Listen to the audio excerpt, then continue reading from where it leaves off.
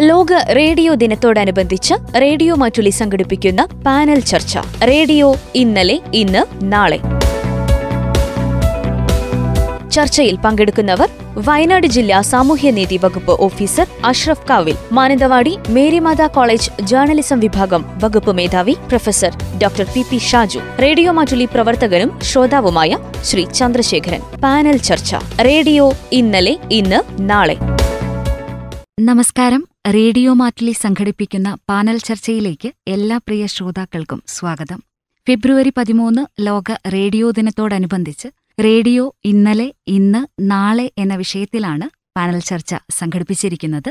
Panel ചർച്ചയിൽ നമ്മോട് സംവദിക്കാൻ ഇവിടെ എത്തിച്ചേർന്നിരിക്കുന്നത് വയനാട് ജില്ലാ സാമൂഹിക നീതി വകുപ്പ് ഓഫീസർ ശ്രീ അഷ്റഫ് കാവിൽ റേഡിയോ മാറ്റിലി മുൻ മാനേജ്മെന്റ് കമ്മിറ്റി അംഗവും മാനന്തവാടി മേരിമാതാ കോളേജ് ജേർണലിസം വിഭാഗം എച്ച്ഒഡിയുമായ ശ്രീ ഷാജു പി പി. അതുപോലെ തന്നെ പതിമൂന്ന് വർഷമായി റേഡിയോ മാറ്റ്ലിയുടെ സ്ഥിരം ശ്രോതാവും പരിപാടി അവതാരകനും മാറ്റൊലി മുൻ മാനേജ്മെന്റ് കമ്മിറ്റി അംഗവുമായ ശ്രീ കെ കെ ചന്ദ്രശേഖരൻ എന്നിവരാണ് മൂന്നുപേരെയും പാനൽ ചർച്ചയിലേക്ക് ഏറെ സ്നേഹത്തോടെ റേഡിയോ മാറ്റ്ലി സ്വാഗതം ചെയ്യുന്നു. റേഡിയോ വന്ന ചരിത്രം ഏറെ സങ്കീർണമാണ്. ആദ്യമായി മനുഷ്യന്റെ ശബ്ദം റേഡിയോയിലൂടെ ലോകം കേട്ടത് ആയിരത്തി തൊള്ളായിരത്തി ആറിലെ ക്രിസ്മസ് രാത്രിയിലായിരുന്നു. അതിനു മുൻപ് റേഡിയോ സിഗ്നലുകൾ മാത്രം അയക്കാനേ സാധിച്ചിരുന്നുള്ളൂ. റെയ്നോൾഡ് ഫെസഡിൻ എന്ന അമേരിക്കൻ ശാസ്ത്രജ്ഞനായിരുന്നു ഇതിനു പിന്നിൽ. ആയിരത്തി തൊള്ളായിരത്തി ഇരുപത് ഓഗസ്റ്റ് ഇരുപതിനായിരുന്നു ഇന്ത്യയിൽ ആദ്യമായി പരീക്ഷണാടിസ്ഥാനത്തിൽ റേഡിയോ പ്രക്ഷേപണം നടത്തിയത്.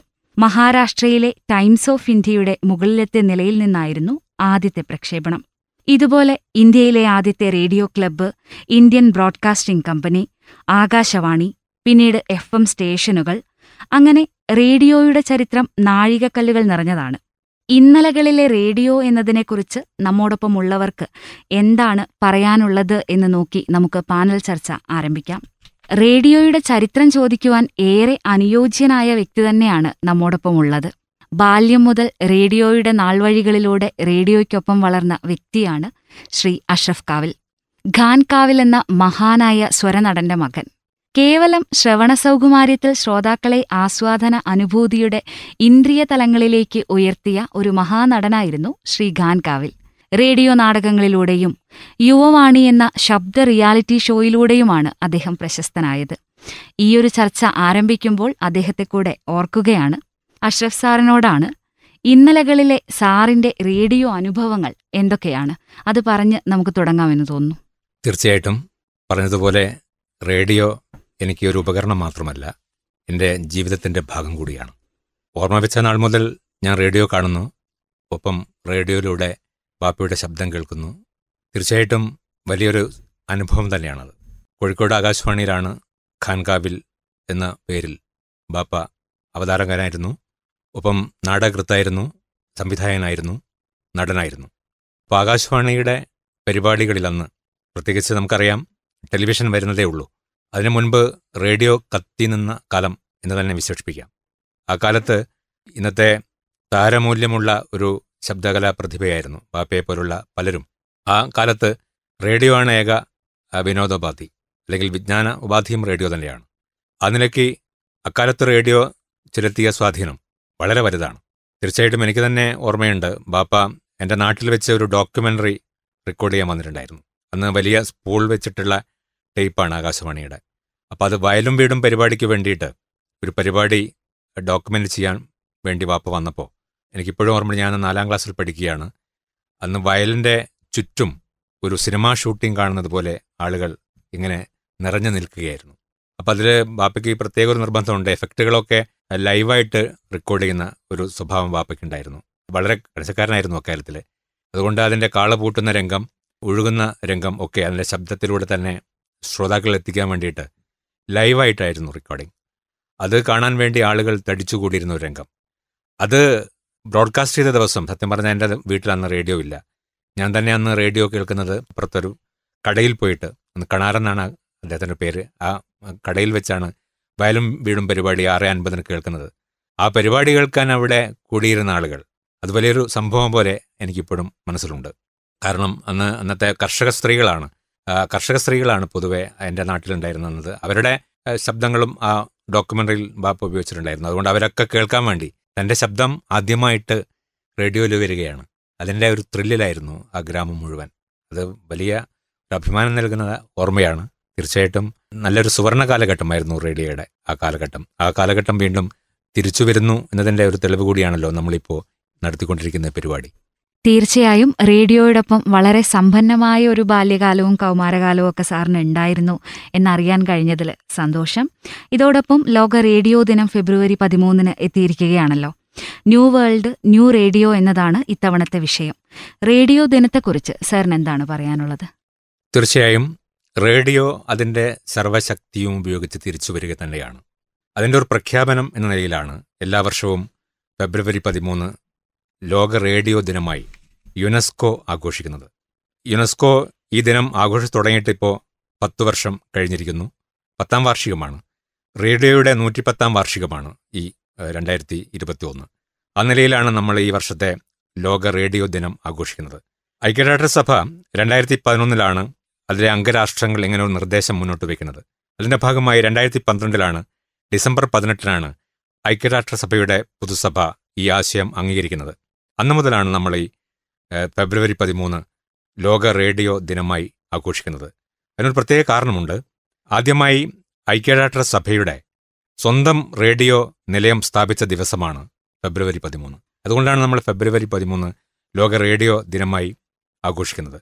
ഈ വർഷത്തെ സന്ദേശം ഇപ്പം പറഞ്ഞതുപോലെ ന്യൂ വേൾഡ് ന്യൂ റേഡിയോ എന്നതാണ്. പുതിയ ലോകം പുതിയ റേഡിയോ. നമുക്കറിയാം കാലം മാറുകയാണ് ലോകം മാറുകയാണ്. അപ്പം പഴയ രീതിയിലുള്ള ബ്രോഡ്കാസ്റ്റിംഗ് സമ്പ്രദായം പോരാ ശൈലി പോരാ അത് മാറേണ്ടതുണ്ട്. ആധുനിക കാലത്തിനനുസരിച്ച് ടെക്നോളജിക്ക് അനുസരിച്ചിട്ട് ശാസ്ത്ര സാങ്കേതിക വിദ്യക്കനുസരിച്ചിട്ട് നമ്മൾ റേഡിയോയും കൂടി മാറേണ്ടതുണ്ട്. തീർച്ചയായിട്ടും ആ ഒരു സന്ദേശമാണ് ഈ റേഡിയോ ദിനം സമൂഹത്തിന് ഇപ്രാവശ്യം നൽകുന്നത്. ഏറ്റവും വലിയ പ്രത്യേകത ഇതിന് മൂന്ന് തലങ്ങളിലാണ് ഐക്യരാഷ്ട്രസഭ ഈ ദിനം മുന്നോട്ട് വയ്ക്കുന്നത്. മൂന്ന് സബ് തീംസ് ഉണ്ട്. മൂന്ന് ഉപ പ്രമേയങ്ങൾ ഇതിന്റെ ഭാഗമായിട്ട് യുനെസ്കോ മുന്നോട്ട് വയ്ക്കുന്നുണ്ട്. അതിലൊന്ന് എവല്യൂഷനാണ് അല്ലെങ്കിൽ വികാസം വളർച്ച. റേഡിയോയുടെ വികാസവും വളർച്ചയും. മറ്റൊന്ന് ഇന്നൊവേഷനാണ് റേഡിയോയുടെ പുതുമ. മറ്റൊന്ന് കണക്ഷനാണ് ബന്ധം. അങ്ങനെ വികാസം പുതുമ ബന്ധം എന്നീ മൂന്ന് ഉപ പ്രമേയങ്ങളിൽ ഊന്നിക്കൊണ്ടാണ് ഈ വർഷത്തെ ലോക റേഡിയോ ദിനം ലോകം ആഘോഷിക്കുന്നത്. തീർച്ചയായിട്ടും വികാസം എന്ന് പറയുമ്പോൾ നമ്മളൊരു കാലത്ത് കരുതിയിരുന്നു ഈ ഇലക്ട്രോണിക് മാധ്യമമായ റേഡിയോ ടെലിവിഷൻ വരുന്നതോടുകൂടി അല്ലെങ്കിൽ ഇപ്പോൾ ഇന്റർനെറ്റ് വന്നതോടുകൂടി അല്ലെങ്കിൽ സാമൂഹ്യ മാധ്യമം വന്നതോടുകൂടി താനെ അപ്രത്യക്ഷമാകുമെന്ന് പലരും ഭയന്നിരുന്നു. അല്ലെങ്കിൽ അങ്ങനെ ഒരു പ്രചരണം ഉണ്ടായിരുന്നു. പക്ഷെ റേഡിയോ പൂർവാധികം ശക്തിയായി തിരിച്ചു വരികയാണ്. മാത്രമല്ല മറ്റൊരു വാർത്താവിനിമയ മാധ്യമത്തിനും പകരം വയ്ക്കാൻ റേഡിയോ പോലെ കഴിയില്ല. റേഡിയോയ്ക്ക് പകരം റേഡിയോ മാത്രമേ ഉള്ളൂ. കാരണം അതിന്റെ ശക്തി അതാണ് അതിന്റെ മാധ്യമം അതാണ്. അതുകൊണ്ട് തന്നെ റേഡിയോയെ പകരം വയ്ക്കാൻ മറ്റൊരു മാധ്യമത്തിനും കഴിയില്ല. അതുകൊണ്ട് തന്നെ ഇതിന് വികാസം വളർച്ച നമ്മൾ ആഘോഷിക്കുകയാണ് ഈ ദിവസം. മാത്രമല്ല രണ്ടാമത്തെ ഉപ പ്രമേയമായിട്ട് നമ്മുടെ മുമ്പിലുള്ളത് പുതുമയാണ് ഇന്നവേഷൻ പുതിയ സാങ്കേതിക വിദ്യകൾ ആവിഷ്കരിച്ചുകൊണ്ടുള്ള റേഡിയോ മുന്നോട്ട് വരികയാണ്. നമുക്കറിയാം നേരത്തെ റേഡിയോ കേൾക്കണമെങ്കിൽ റേഡിയോ സെറ്റ് വേണ്ടിയിരുന്നു. ഇന്ന് റേഡിയോ കേൾക്കണമെങ്കിൽ റേഡിയോ സെറ്റ് വേണ്ട. നമുക്ക് മൊബൈൽ ഫോണിൽ കേൾക്കാം കാർ ഓടിച്ചുകൊണ്ടിരിക്കുമ്പോൾ കേൾക്കാം ബസ്സിൽ യാത്ര ചെയ്യുമ്പോൾ കേൾക്കാം. അങ്ങനെ നമുക്ക് റേഡിയോ കേൾക്കാൻ റേഡിയോ സെറ്റ് വേണ്ടാത്തൊരു കാലം വരികയാണ്. പുതിയ ജീവിതത്തിന്റെ ഭാഗമായിട്ട് റേഡിയോ മാറുകയാണ്. അല്ലെങ്കിൽ ചില മഹാന്മാർ ഇപ്പോൾ പറഞ്ഞതുപോലെ റേഡിയോ ടി വിയിൽ കേൾക്കാം. ടി വി പരിപാടി റേഡിയോയിൽ കേൾക്കാം എന്ന രീതിയിലേക്ക് റേഡിയോയും ടി വിയും കൂടി ഒരു സമ്മിശ്രമായ ഒരു ടെക്നോളജിയിലേക്ക് വരുന്ന ഒരു കാലം കൂടിയാണത്. അതുകൊണ്ടാണ് ഇന്നവേഷൻ പുതുമ എന്ന് പറയുന്നത്. മറ്റൊരു കാര്യം ബന്ധമാണ്. തീർച്ചയായിട്ടും റേഡിയോ പോലെ ലോകത്തെ ഏറ്റവും കൂടുതൽ ആളുകളുമായി സംവദിക്കുന്ന മറ്റൊരു മാധ്യമമില്ല യുനെസ്കോയുടെ നിരീക്ഷണത്തിൽ ഏറ്റവും കൂടുതൽ വേഗത്തിൽ ഏറ്റവും കൂടുതൽ ആളുകളുമായി ഇന്നും ലോകത്തുമായി സംവദിക്കുന്ന ഏക മാധ്യമം റേഡിയോ ആണ്. അതുകൊണ്ട് തന്നെ ഇതിന്റെ സേവനം അതിന്റെ പ്രകൃതി ദുരന്തം വരുമ്പോൾ അല്ലെങ്കിൽ സാമൂഹിക സാമ്പത്തിക പ്രതിസന്ധികൾ വരുമ്പോൾ പകർച്ചവ്യാധികൾ വരുമ്പോൾ ഒക്കെ റേഡിയോ ആണ് ജനങ്ങളിലേക്ക് കൂടുതൽ റീച്ച് ആവുന്നത് കൂടുതൽ എത്തുന്നത്. അതുകൊണ്ട് തന്നെ അതിന്റെ ബന്ധം എന്ന് പറയുന്നത് വളരെ വലുതാണ്. അത് വീണ്ടും തിരിച്ചു വരികയാണ്. ഇങ്ങനെ വികാസം പുതുമ ബന്ധം എന്ന മൂന്ന് ഉപ പ്രമേയങ്ങളിൽ ഊന്നിക്കൊണ്ടാണ് നമ്മുടെ ഈ വർഷത്തെ ലോക റേഡിയോ ദിനം ആഘോഷിക്കുന്നത്. അതുപോലെ തന്നെ ഇന്നലകളിലെ റേഡിയോ അല്ലെങ്കിൽ ചരിത്ര വഴികൾ റേഡിയോ എന്നതിനെക്കുറിച്ച് കുറച്ചേറെ കാര്യങ്ങൾ ഷാജു സാറിനും പറയാനുണ്ടാകും. എന്തൊക്കെയാണത്? എന്റെ ഓർമ്മ ശരിയാണെങ്കിൽ ആയിരത്തി തൊള്ളായിരത്തി എഴുപതുകളിലാണ് ഞാൻ റേഡിയോ എന്ന ഒരു മാധ്യമമായി പരിചയപ്പെടുന്നത്.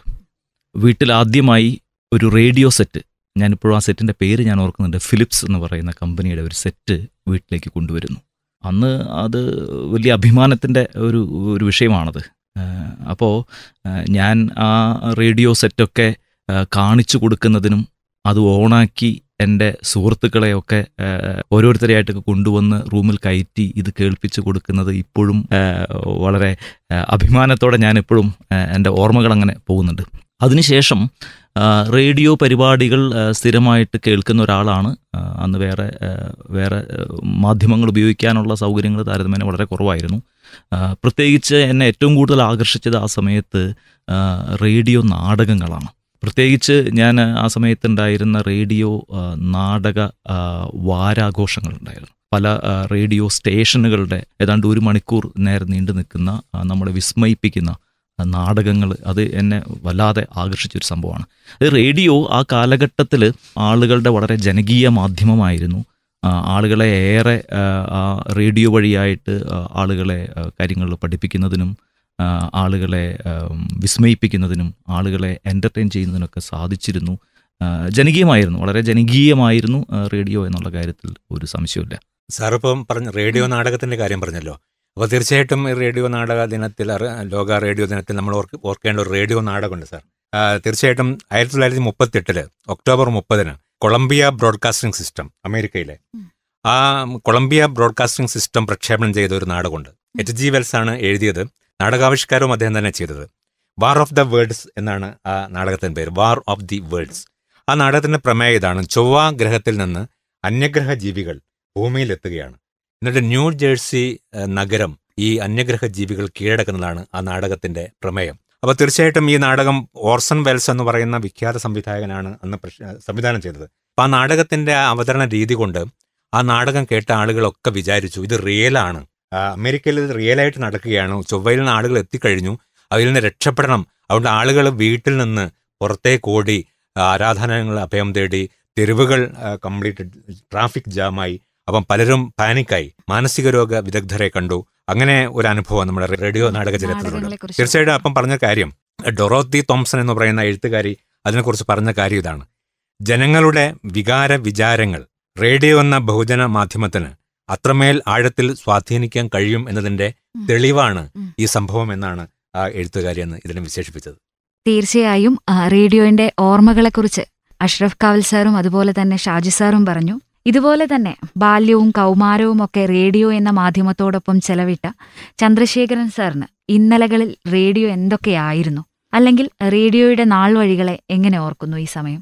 ഏതായാലും നല്ല ഒരു ഈ അവസരത്തിൽ ഈ ചർച്ച സംഘടിപ്പിച്ചതിന് വളരെയേറെ സന്തോഷമാണ്. തീർച്ചയായിട്ടും റേഡിയോ ദിനത്തോടനുബന്ധിച്ച് വളരെ പ്രാധാന്യമുള്ള ഒരു വിഷയമാണ് നമ്മളിവിടെ ചർച്ച ചെയ്യുന്നത്. ഷായി സാറും അഷഫ് സാറും ഒക്കെ പറഞ്ഞെടുത്ത് തന്നെയാണ് ഞാൻ തുടങ്ങുന്നത്. അതായത് ചെറുപ്പകാലം തൊട്ട് റേഡിയോ ഇന്ന് വരെ ജീവിതത്തിന്റെ ഒരു ഭാഗമായി മാറിയിരിക്കുകയാണ്.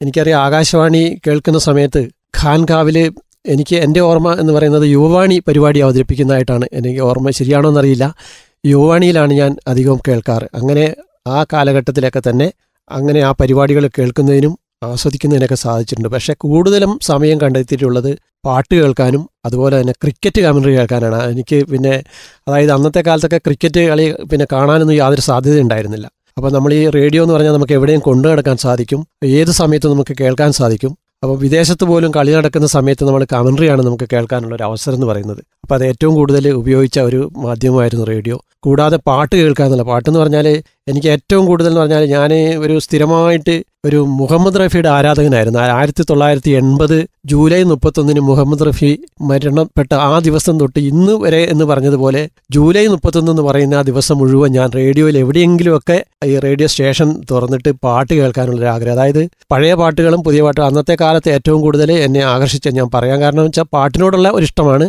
കൂടുതലായിട്ടും കേൾക്കാൻ സമയം കണ്ടെത്തിയിരുന്നതാണ് ഈ പാട്ടുകളൊക്കെ തന്നെ. അപ്പോൾ ഞാൻ അവിടെ പിന്നെ ചെറുപ്പകാലത്ത് ഇങ്ങനെ എന്റെ ജ്യേഷ്ഠൻ എന്ന് പറയുന്നൊരു കച്ചവടക്കാരനായിരുന്നു. അപ്പം റേഡിയോയൊക്കെ ഇങ്ങനെ വിൽപ്പനയ്ക്ക് വരും. അപ്പോൾ റേഡിയോ ചെറിയ ചെറിയ റേഡിയോകൾ വരുമ്പോൾ അതിങ്ങനെ അത് മേടിക്കാൻ വളരെ താല്പര്യത്തോടു കൂടി ഞാനിങ്ങനെ പറയും. അപ്പം തൊട്ടടുത്ത് ഒരു പോസ്റ്റ് ഓഫീസിൽ ഒരു പോസ്റ്റ് ഉണ്ട്. അപ്പോൾ അദ്ദേഹം എന്താണെന്ന് വെച്ചാൽ അദ്ദേഹത്തിന് ഏറ്റവും കൂടുതൽ ഇഷ്ടമെന്ന് പറയുന്നത് പിന്നെ സൈക്കിളിന്റെ പാട്ട്. പഴയ കാലത്തെ പിന്നെ ഹിന്ദി പാട്ട് പാടുന്ന സൈക്കിൾ അതുപോലെ തന്നെ മറ്റു പല രീതിയിലുള്ള പിന്നെ ഈ റാഫി പോലെയുള്ള അല്ലെങ്കിൽ കിഷോർ കുമാറിന്റെ പാട്ടിനേക്കാളും ഒക്കെ പഴയ പാട്ടുകൾ അങ്ങനെ ആ രൂപത്തിലുള്ള പാട്ടുകളൊക്കെ ഇഷ്ടപ്പെടുമ്പോൾ നമ്മൾ തീർച്ചയായിട്ടും ഈ പാട്ടിനോട് ഇഷ്ടപ്പെടും. അപ്പോൾ എന്നോട് പറയും പാട്ടെന്ന് പറയുമ്പോൾ നമ്മളത് ആസ്വദിക്കുക അർത്ഥം അറിഞ്ഞിട്ടൊന്നും അല്ലെങ്കിൽ കൂടി ആ പാട്ടുകൾ കേൾക്കാനുള്ള ഒരു പിന്നെ ഇതാണ് നമ്മൾ കാണേണ്ടത്.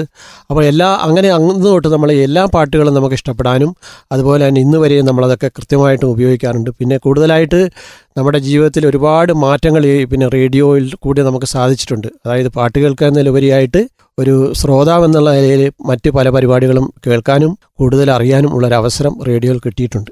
തീർച്ചയായും വളരെ സമ്പന്നമായ ഒരു കുട്ടിക്കാലം റേഡിയോയോടൊപ്പം ചന്ദ്രശേഖരൻ സാറിന് ഉണ്ടായിരുന്നു എന്നറിയുന്നതിൽ തന്നെ നമുക്കൊക്കെ ഒരുപാട് സന്തോഷം.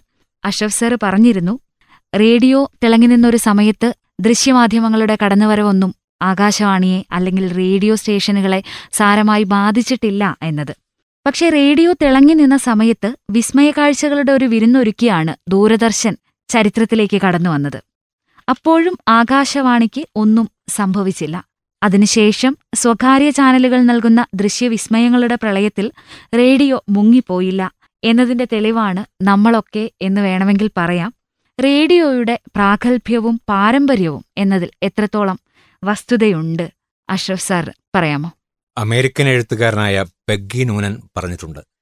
T V gives everyone an image but radio gives birth to a million image in a million brain എന്ന് പറയുമ്പോൾ ടെലിവിഷൻ എല്ലാ ആൾക്കും ഒരു ഇമേജ് മാത്രം നൽകുമ്പോൾ റേഡിയോ ആയിരം തലച്ചോറുകളിൽ ആയിരം ഇമേജുകൾ ഉണ്ടാക്കുന്നു.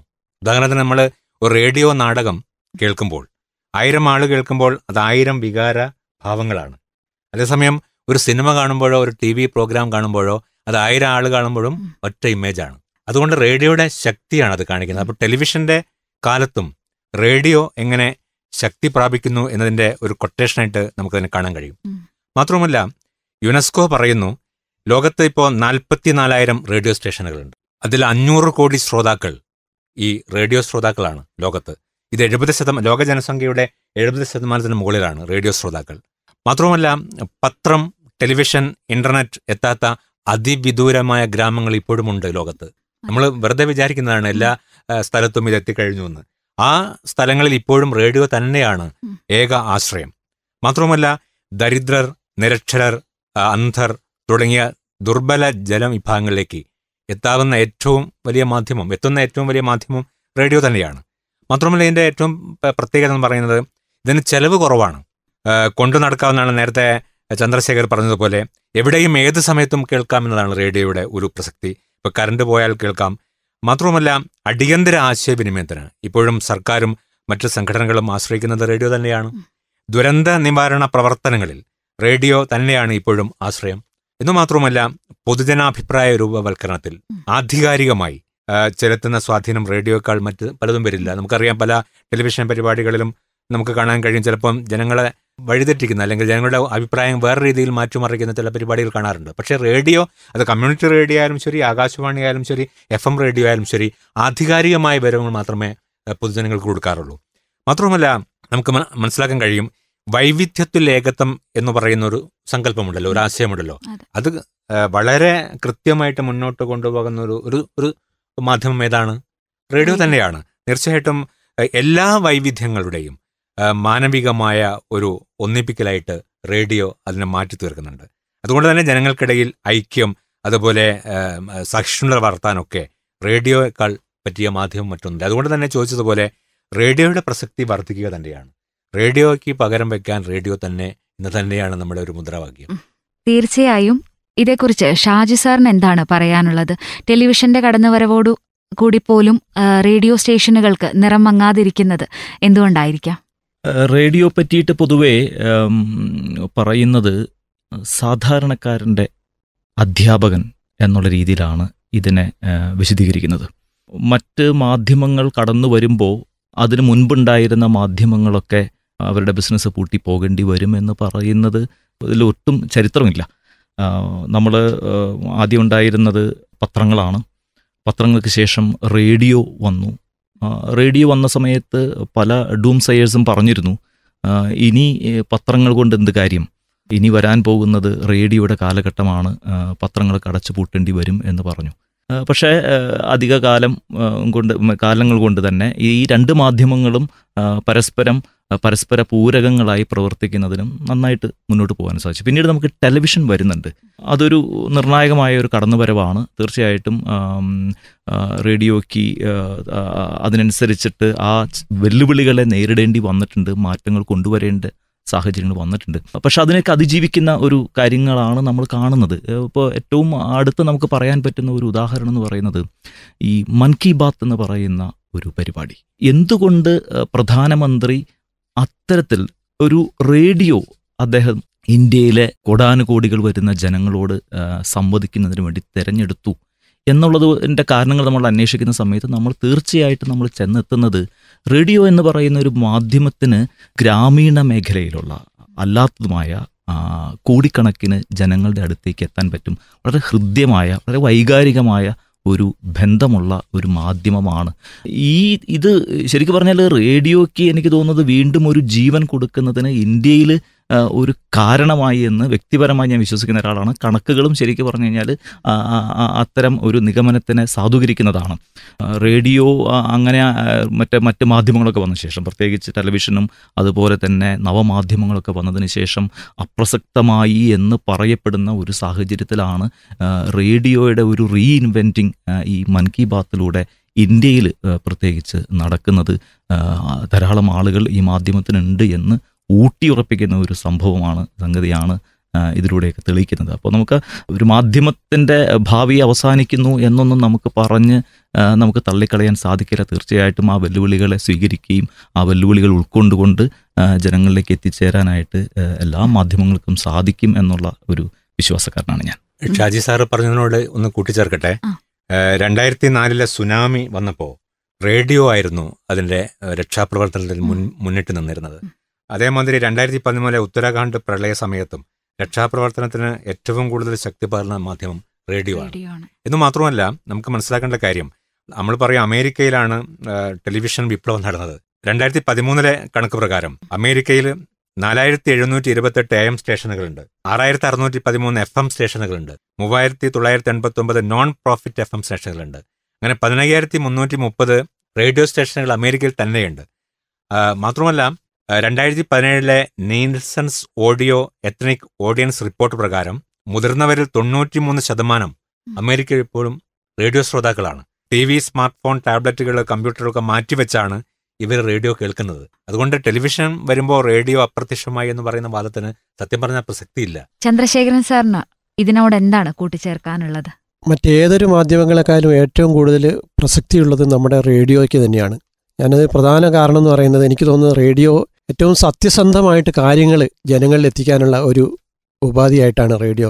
മറ്റു മാധ്യമങ്ങളില്ല എന്നല്ല പറയുന്നത്. പക്ഷേ റേഡിയോയെ സംബന്ധിച്ച് പറയുകയാണെങ്കിൽ ഏറ്റവും വളരെ നല്ല രീതിയിൽ വളരെ വസ്തുനിഷ്ഠമായ കാര്യങ്ങൾ ജനങ്ങളിൽ എത്തിക്കാൻ പറ്റുന്ന ഒരു മാധ്യമമായിട്ടാണ് റേഡിയോയെ കാണുന്നത്. നേരത്തെ അഷഫ് സാർ പറഞ്ഞ പോലെ റേഡിയോയുടെ പ്രാധാന്യം ഏറ്റവും കൂടുതൽ അനുഭവിച്ചറിഞ്ഞത് എനിക്കൊന്ന് രണ്ടായിരത്തി പതിനെട്ട് രണ്ടായിരത്തി പത്തൊമ്പതിലെ പ്രളയവും ഇപ്പോൾ അതിന് ശേഷം ഉണ്ടായിട്ടുള്ള രണ്ടായിരത്തി ഇരുപതിലെ കോവിഡും ഇപ്പോൾ തുടർന്നുകൊണ്ടിരിക്കുന്ന ആ കോവിഡ് കാലമൊക്കെ തന്നെ റേഡിയോ ഏറ്റവും കൂടുതൽ ജനങ്ങൾ ഉപകരിച്ച ഒരു സംഗതിയാണ്. ഉദാഹരണത്തിന് നമ്മൾ റേഡിയോ മാറ്റിൽ തന്നെ എടുക്കാം നമുക്ക്. രണ്ടായിരത്തി പതിനെട്ട് രണ്ടായിരത്തി പത്തൊമ്പതിലൊക്കെ വൈദ്യുതി ബന്ധമൊക്കെ വിച്ഛേദിച്ച് എല്ലാം തടസ്സം നേരിട്ട സമയത്ത് ഇരുപത്തിനാല് മണിക്കൂറും പ്രവർത്തിച്ചുകൊണ്ട് റേഡിയോ മാധ്യ മാറ്റലി നമ്മുടെ ജനങ്ങളുടെ ഇടയിൽ എത്രത്തോളം സ്വാധീനം ചെലുത്തി എന്നുള്ളത് വളരെ ഒരു ഉദാഹരണമാണ്. അപ്പോൾ അത്രയേറെ പ്രാധാന്യമുള്ള റേഡിയോ ഒരിക്കലും അതും പിന്നെ ഇല്ലാതാകുന്നില്ല. അതിന്റെ പ്രാധാന്യം കൂടിക്കൂടി വരികയാണ്.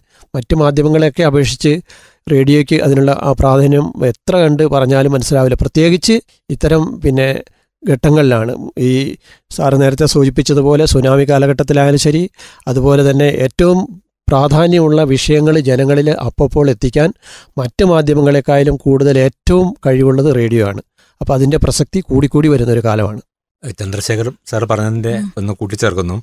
നമ്മളെ മുമ്പിൽ മീഡിയ റിസർച്ച് യൂസേഴ്സ് കൗൺസിലിന്റെ ഒരു റിപ്പോർട്ടുണ്ട് ആ റിപ്പോർട്ട് പ്രകാരം പവർ ഓഫ് റേഡിയോ അല്ലെങ്കിൽ റേഡിയോയുടെ ശക്തി എന്ന് പറയുന്ന റിപ്പോർട്ട് പ്രസിദ്ധീകരിച്ചിട്ടുണ്ട്. ഇന്ത്യൻ മെട്രോ നഗരങ്ങളിൽ സോഷ്യൽ നെറ്റ്വർക്ക് സൈറ്റുകളിൽ മുഴുകിയിരിക്കുന്നവർ എൺപത്തിമൂന്ന് ശതമാനമാണെങ്കിൽ റേഡിയോ ശ്രോതാക്കൾ എൺപത്തിയാറ് ശതമാനം വരുമെന്നാണ് കണക്ക് പറയുന്നത്. അതുകൊണ്ട് റേഡിയോ ശ്രോതാക്കൾ ഈ സോഷ്യൽ സാമൂഹ്യ മാധ്യമങ്ങളുടെ പ്രളയത്തിലും അല്പം പോലും മങ്ങലേറ്റിട്ടില്ല എന്നാണ് നമ്മുടെ റിപ്പോർട്ടുകൾ തന്നെ പറയുന്നത്. തീർച്ചയായും ദുരന്തമുഖങ്ങളിലൊക്കെ ഏറ്റവും പെട്ടെന്ന് എത്തിച്ചേരുന്നു എന്നതുകൊണ്ട് തന്നെ ആയിരിക്കാം. റേഡിയോകളെ ഇപ്പോഴും തിളക്കമുള്ളതായി തന്നെ ജനങ്ങൾ സ്വീകരിച്ചിരിക്കുന്നത്. റേഡിയോ കേൾക്കാൻ ഒരു കൂട്ടം ആളുകൾ ഇപ്പോഴും ഉള്ളത് എന്ന് നമുക്ക് കരുതാം. ആകാശവാണിയിൽ തുടങ്ങി സ്വകാര്യ റേഡിയോ സ്റ്റേഷനുകളും കടന്ന് കമ്മ്യൂണിറ്റി റേഡിയോ എന്ന ആശയത്തിൽ നമ്മൾ എത്തി നിൽക്കുകയാണ്. കമ്മ്യൂണിറ്റി റേഡിയോയുടെ പ്രവർത്തനം ഭൂമിശാസ്ത്രപരമായി വേറിട്ട സമൂഹത്തിന്റെ താൽപ്പര്യങ്ങൾക്കനുസരിച്ചാണല്ലോ പ്രവർത്തിക്കുക. രണ്ടായിരത്തി മൂന്ന് തുടക്കത്തിലാണ് ഇങ്ങനെയൊരാശയം ഇന്ത്യയിലേക്ക് എത്തുന്നത് രണ്ടായിരത്തിയാറ് നവംബർ പതിനാറിനാണ് നോൺ ഗവൺമെന്റൽ ഓർഗനൈസേഷനുകൾക്കും കമ്മ്യൂണിറ്റി റേഡിയോ സ്റ്റേഷനുകൾ ആരംഭിക്കാം എന്ന് തീരുമാനമായത്. മറ്റ് റേഡിയോകളിൽ നിന്നും പ്രവർത്തന രീതികളിലും വ്യത്യസ്തമാണ് കമ്മ്യൂണിറ്റി റേഡിയോ. ഇതെങ്ങനെ നോക്കിക്കാണുന്നു ഷാജു സർ പറയാമോ?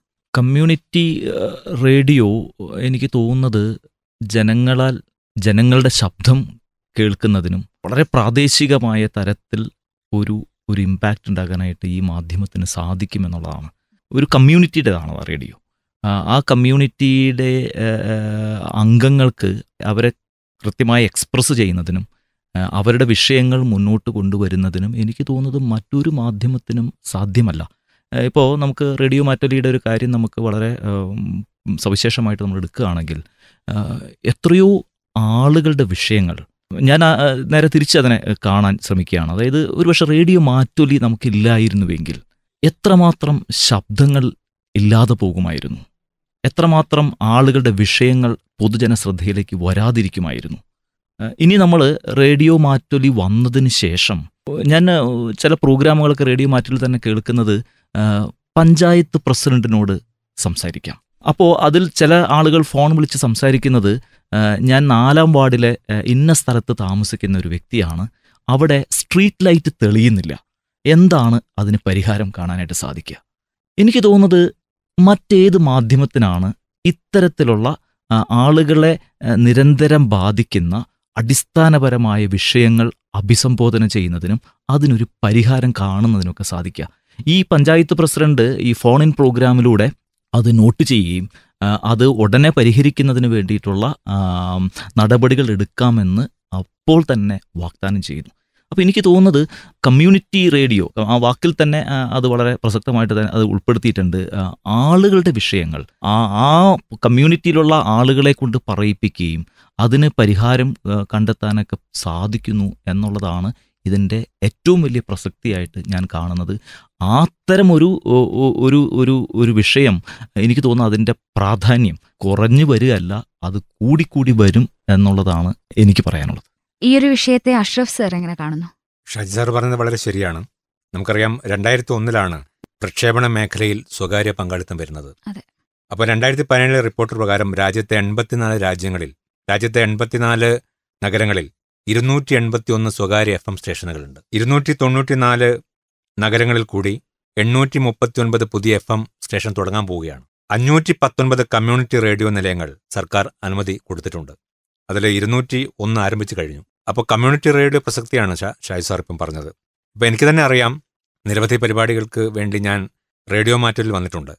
ലൈവായിട്ട് ഒരു പരിപാടി ചെയ്തപ്പോൾ എത്ര ശ്രോതാക്കളാണ് കമ്മ്യൂണിറ്റി റേഡിയോയുമായി ബന്ധപ്പെട്ട് നമുക്ക് മനസ്സിലാക്കാൻ കഴിഞ്ഞിട്ടുണ്ട്.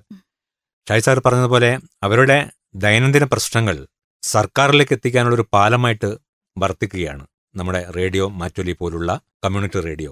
തീർച്ചയായിട്ടും നമുക്ക് മനസ്സിലാക്കേണ്ട കാര്യം ദുർബല ജനവിഭാഗങ്ങളായ ആളുകളുടെ പ്രത്യേകിച്ച് സ്ത്രീകൾ വയോജനങ്ങൾ ഗോത്ര വിഭാഗങ്ങൾ അവരുടെയൊക്കെ ശബ്ദം കേൾപ്പിക്കാൻ റേഡിയോ മാറ്റൊലിയെ പോലുള്ള കമ്മ്യൂണിറ്റി റേഡിയോ തന്നെയാണ് മുമ്പിലുള്ളത്.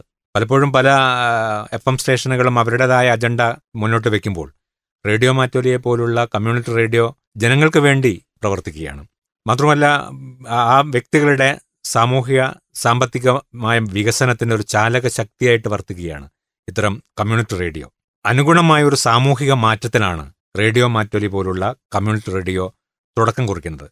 സമൂഹത്തിന്റെ വിജ്ഞാനം വർദ്ധിപ്പിക്കാൻ. പ്രത്യേകിച്ച് എല്ലാ വിഭാഗം ആളുകളുടെയും ഒരു വിജ്ഞാനം വർദ്ധിപ്പിക്കേണ്ടതുണ്ട് ആധുനിക കാലത്തിലൊക്കെ. അതിന് റേഡിയോ മാറ്റൊലി പോലുള്ള കമ്മ്യൂണിറ്റി റേഡിയോ ചെയ്യുന്ന സേവനം വളരെ വലുതാണ്. ഏറ്റവും പ്രധാനപ്പെട്ട ഞാൻ പറയട്ടെ സർക്കാരും ജനങ്ങളും തമ്മിൽ ബന്ധിപ്പിക്കുന്ന ആശയവിനിമയത്തിന്റെ ഒരു പാലമായി മാറുകയാണ് റേഡിയോ മാറ്റൊലി പോലുള്ള കമ്മ്യൂണിറ്റി റേഡിയോ. എനിക്ക് തന്നെ അനുഭവമുണ്ട്. സാമൂഹ്യനീതി വകുപ്പിന്റെ ജില്ലാ സാമൂഹ്യനീതി ഓഫീസറാണ് ഞാൻ വയനാട്ടിലെ. ഭിന്നശേഷിക്കാർ വയോജനങ്ങൾ ട്രാൻസ്ജെൻഡർമാർ മറ്റ് ദുർബല ജനവിഭാഗങ്ങൾ അശരണർ അനാഥർ തുടങ്ങിയവർക്ക് വേണ്ടി സാമൂഹ്യനീതി വകുപ്പ് നടപ്പിലാക്കുന്ന പദ്ധതികളെക്കുറിച്ച് റേഡിയോ മാറ്റൊലിയിലൂടെ നമ്മൾ പരിപാടി പ്രക്ഷേപണം ചെയ്യുമ്പോൾ അത് ആവശ്യമുള്ളവർ ആണ് കേൾക്കുന്നത്. അപ്പോൾ ആവശ്യമുള്ളവർ കേൾക്കുന്നു അവർ അതിനോട് പ്രതികരിക്കുന്നു അവർ തൊട്ടടുത്ത ദിവസം നമ്മുടെ ഓഫീസുമായി ബന്ധപ്പെടുന്നു കൂടുതൽ അപേക്ഷകൾ വാങ്ങിപ്പോകുന്നു. ഇത് തന്നെ വലിയൊരു മാറ്റത്തിന്റെ തുടക്കമാണല്ലോ. അത് ചെയ്യാൻ തീർച്ചയായിട്ടും പല സ്വകാര്യ എഫ് എം സ്റ്റേഷനേക്കാൾ കൂടുതൽ കമ്മ്യൂണിറ്റി റേഡിയോ വഹിക്കുന്ന പങ്ക് വലുതാണ്. എന്റെ അനുഭവത്തിൽ തന്നെ പ്രത്യേകിച്ച് എനിക്ക് പറയാൻ കഴിയും റേഡിയോ മാറ്റൊലി ഈ പതിനൊന്ന് വർഷം ഇപ്പം പന്ത്രണ്ടാം വർഷത്തിലേക്ക് അടുക്കുകയാണല്ലോ റേഡിയോ മാറ്റൊലി രണ്ടായിരത്തി ഒമ്പതിൽ തുടങ്ങിയ റേഡിയോ മാറ്റൊലി. ഈ പന്ത്രണ്ട് വർഷത്തിനകം ഒരുപക്ഷെ വയനാട് ജില്ലയിലുള്ള എല്ലാ ആളുകളെയും കവർ ചെയ്തിട്ടുണ്ടാവും റേഡിയോ മാറ്റൊലി പല വിഭാഗം പരിപാടികളിലൂടെ. കാരണം ഈ റേഡിയോ മാറ്റൊലിയുടെ പരിപാടിയുടെ വൈവിധ്യം തന്നെ ചന്ദ്രശേഖരൻ സാറിനും ഷായി സാറിനും അറിയാൻ കഴിയും. തീർച്ചയായിട്ടും വളരെ വൈവിധ്യപൂർണമായ പരിപാടികളാണ് ഈ ഓരോ ദിവസവും റേഡിയോ മാറ്റൊലി പ്രക്ഷേപണം ചെയ്യുന്നത്. ആ പരിപാടികളൊക്കെ നേരിട്ട് എത്തുന്നത് നമ്മുടെ ആർക്കാണോ റേഡിയോയുടെ പ്രയോജനം കിട്ടേണ്ടത് ആ ജനവിഭാഗങ്ങളിലേക്കാണ് ആ ഗുണഭോക്തൃ വിഭാഗത്തിലേക്കാണ് എന്നതാണ് കമ്മ്യൂണിറ്റി റേഡിയോയുടെ ഏറ്റവും വലിയ ശക്തി. ചന്ദ്രശേഖരൻ സർ ആകാശവാണി ആരംഭിച്ചപ്പോൾ മുതൽ ഉള്ള ഒരു ശ്രോതാവാണ് ആകാശവാണി കേട്ടിരുന്നു. സ്വകാര്യ എഫ് എം അറിയാം കമ്മ്യൂണിറ്റി റേഡിയോ സ്റ്റേഷനും സ്ഥിരമായിട്ട് കേൾക്കുന്നു. അപ്പോൾ കമ്മ്യൂണിറ്റി റേഡിയോ സ്റ്റേഷന് മറ്റുള്ള സ്റ്റേഷനുകളിൽ നിന്ന് വ്യത്യസ്തമായിട്ട് തോന്നിയത് എന്താണ്?